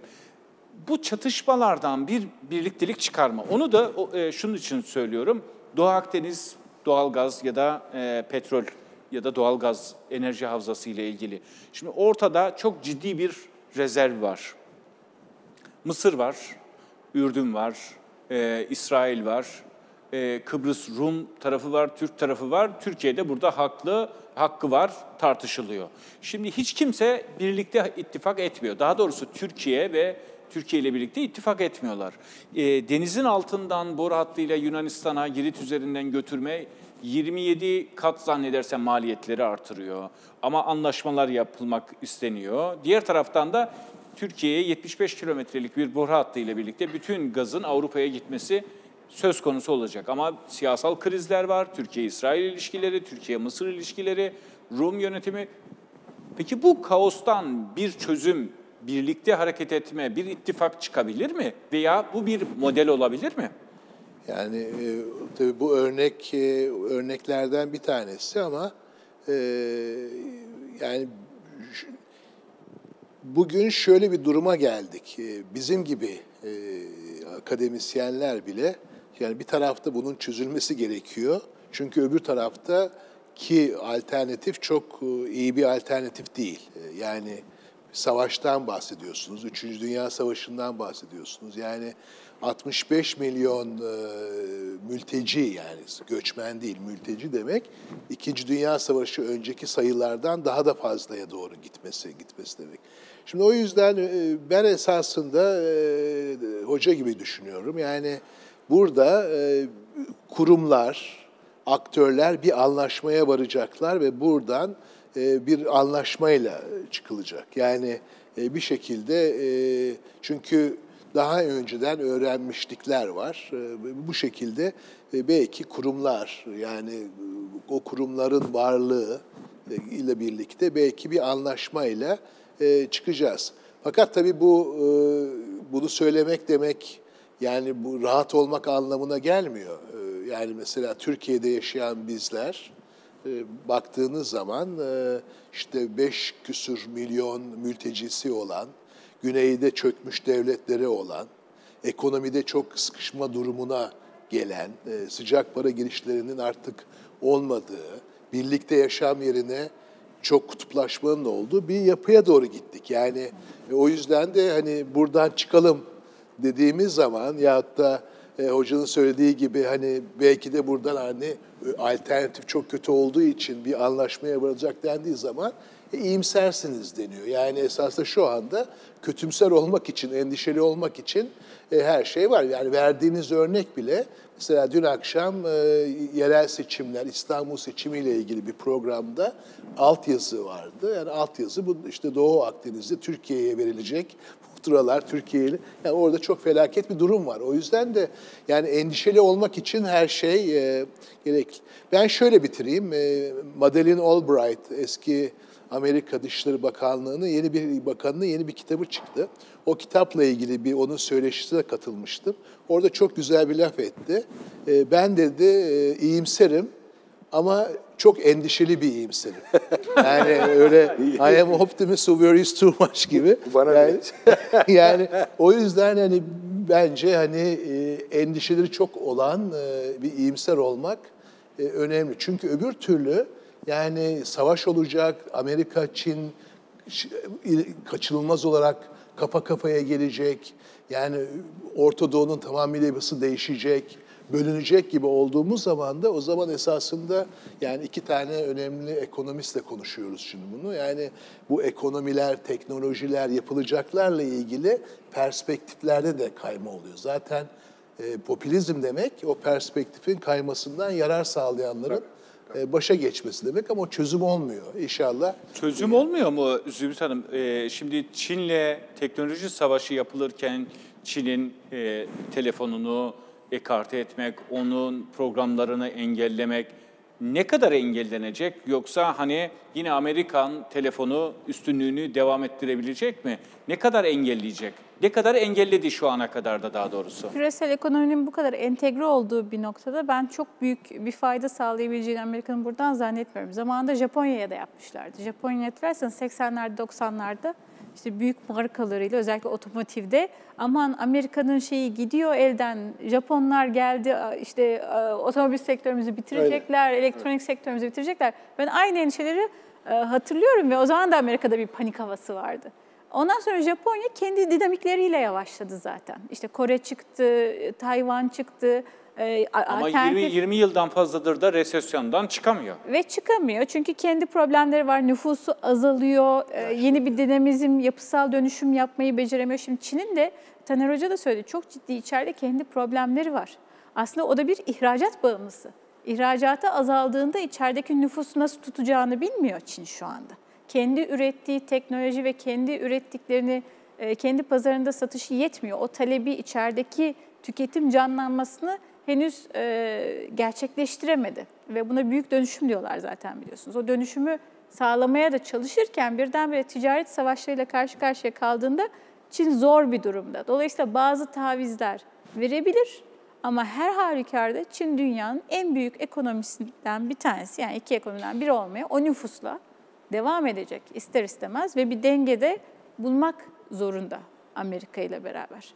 E, çünkü dünyanın devamı için de bu gerekli. Ama dediğimiz gibi burada Çin biraz daha az gelişmiş bir ülke olduğunu kabul etmek lazım. Her ne kadar teknolojik alanda bazı atımlar yapmış olsa da ne Amerika'yı haritadan silebilecek kadar büyük bir güç e, ne de Amerika'da Çin'i tamamen ortadan kaldırabilecek bir ülke. Evet. Yani Çin çok büyük, Bir ufacık bir şey Tabii, buyurun. ilave edebilir miyim? Sizinle birlikte bitirelim. bitirelim. Başlarken de söyledim. Ee, bu ilk küreselleşme deneyi değil insanoğlunun. Ee, 1800'lerin ortasından itibaren yanılmıyorsam bu dördüncüsü. Ee, bunun bir farkı var yalnız ötekilerden. Ötekilerde çok çabuk vazgeçilmiş. İşte savaşta vazgeçilmiş vesaire vazgeçilmiş.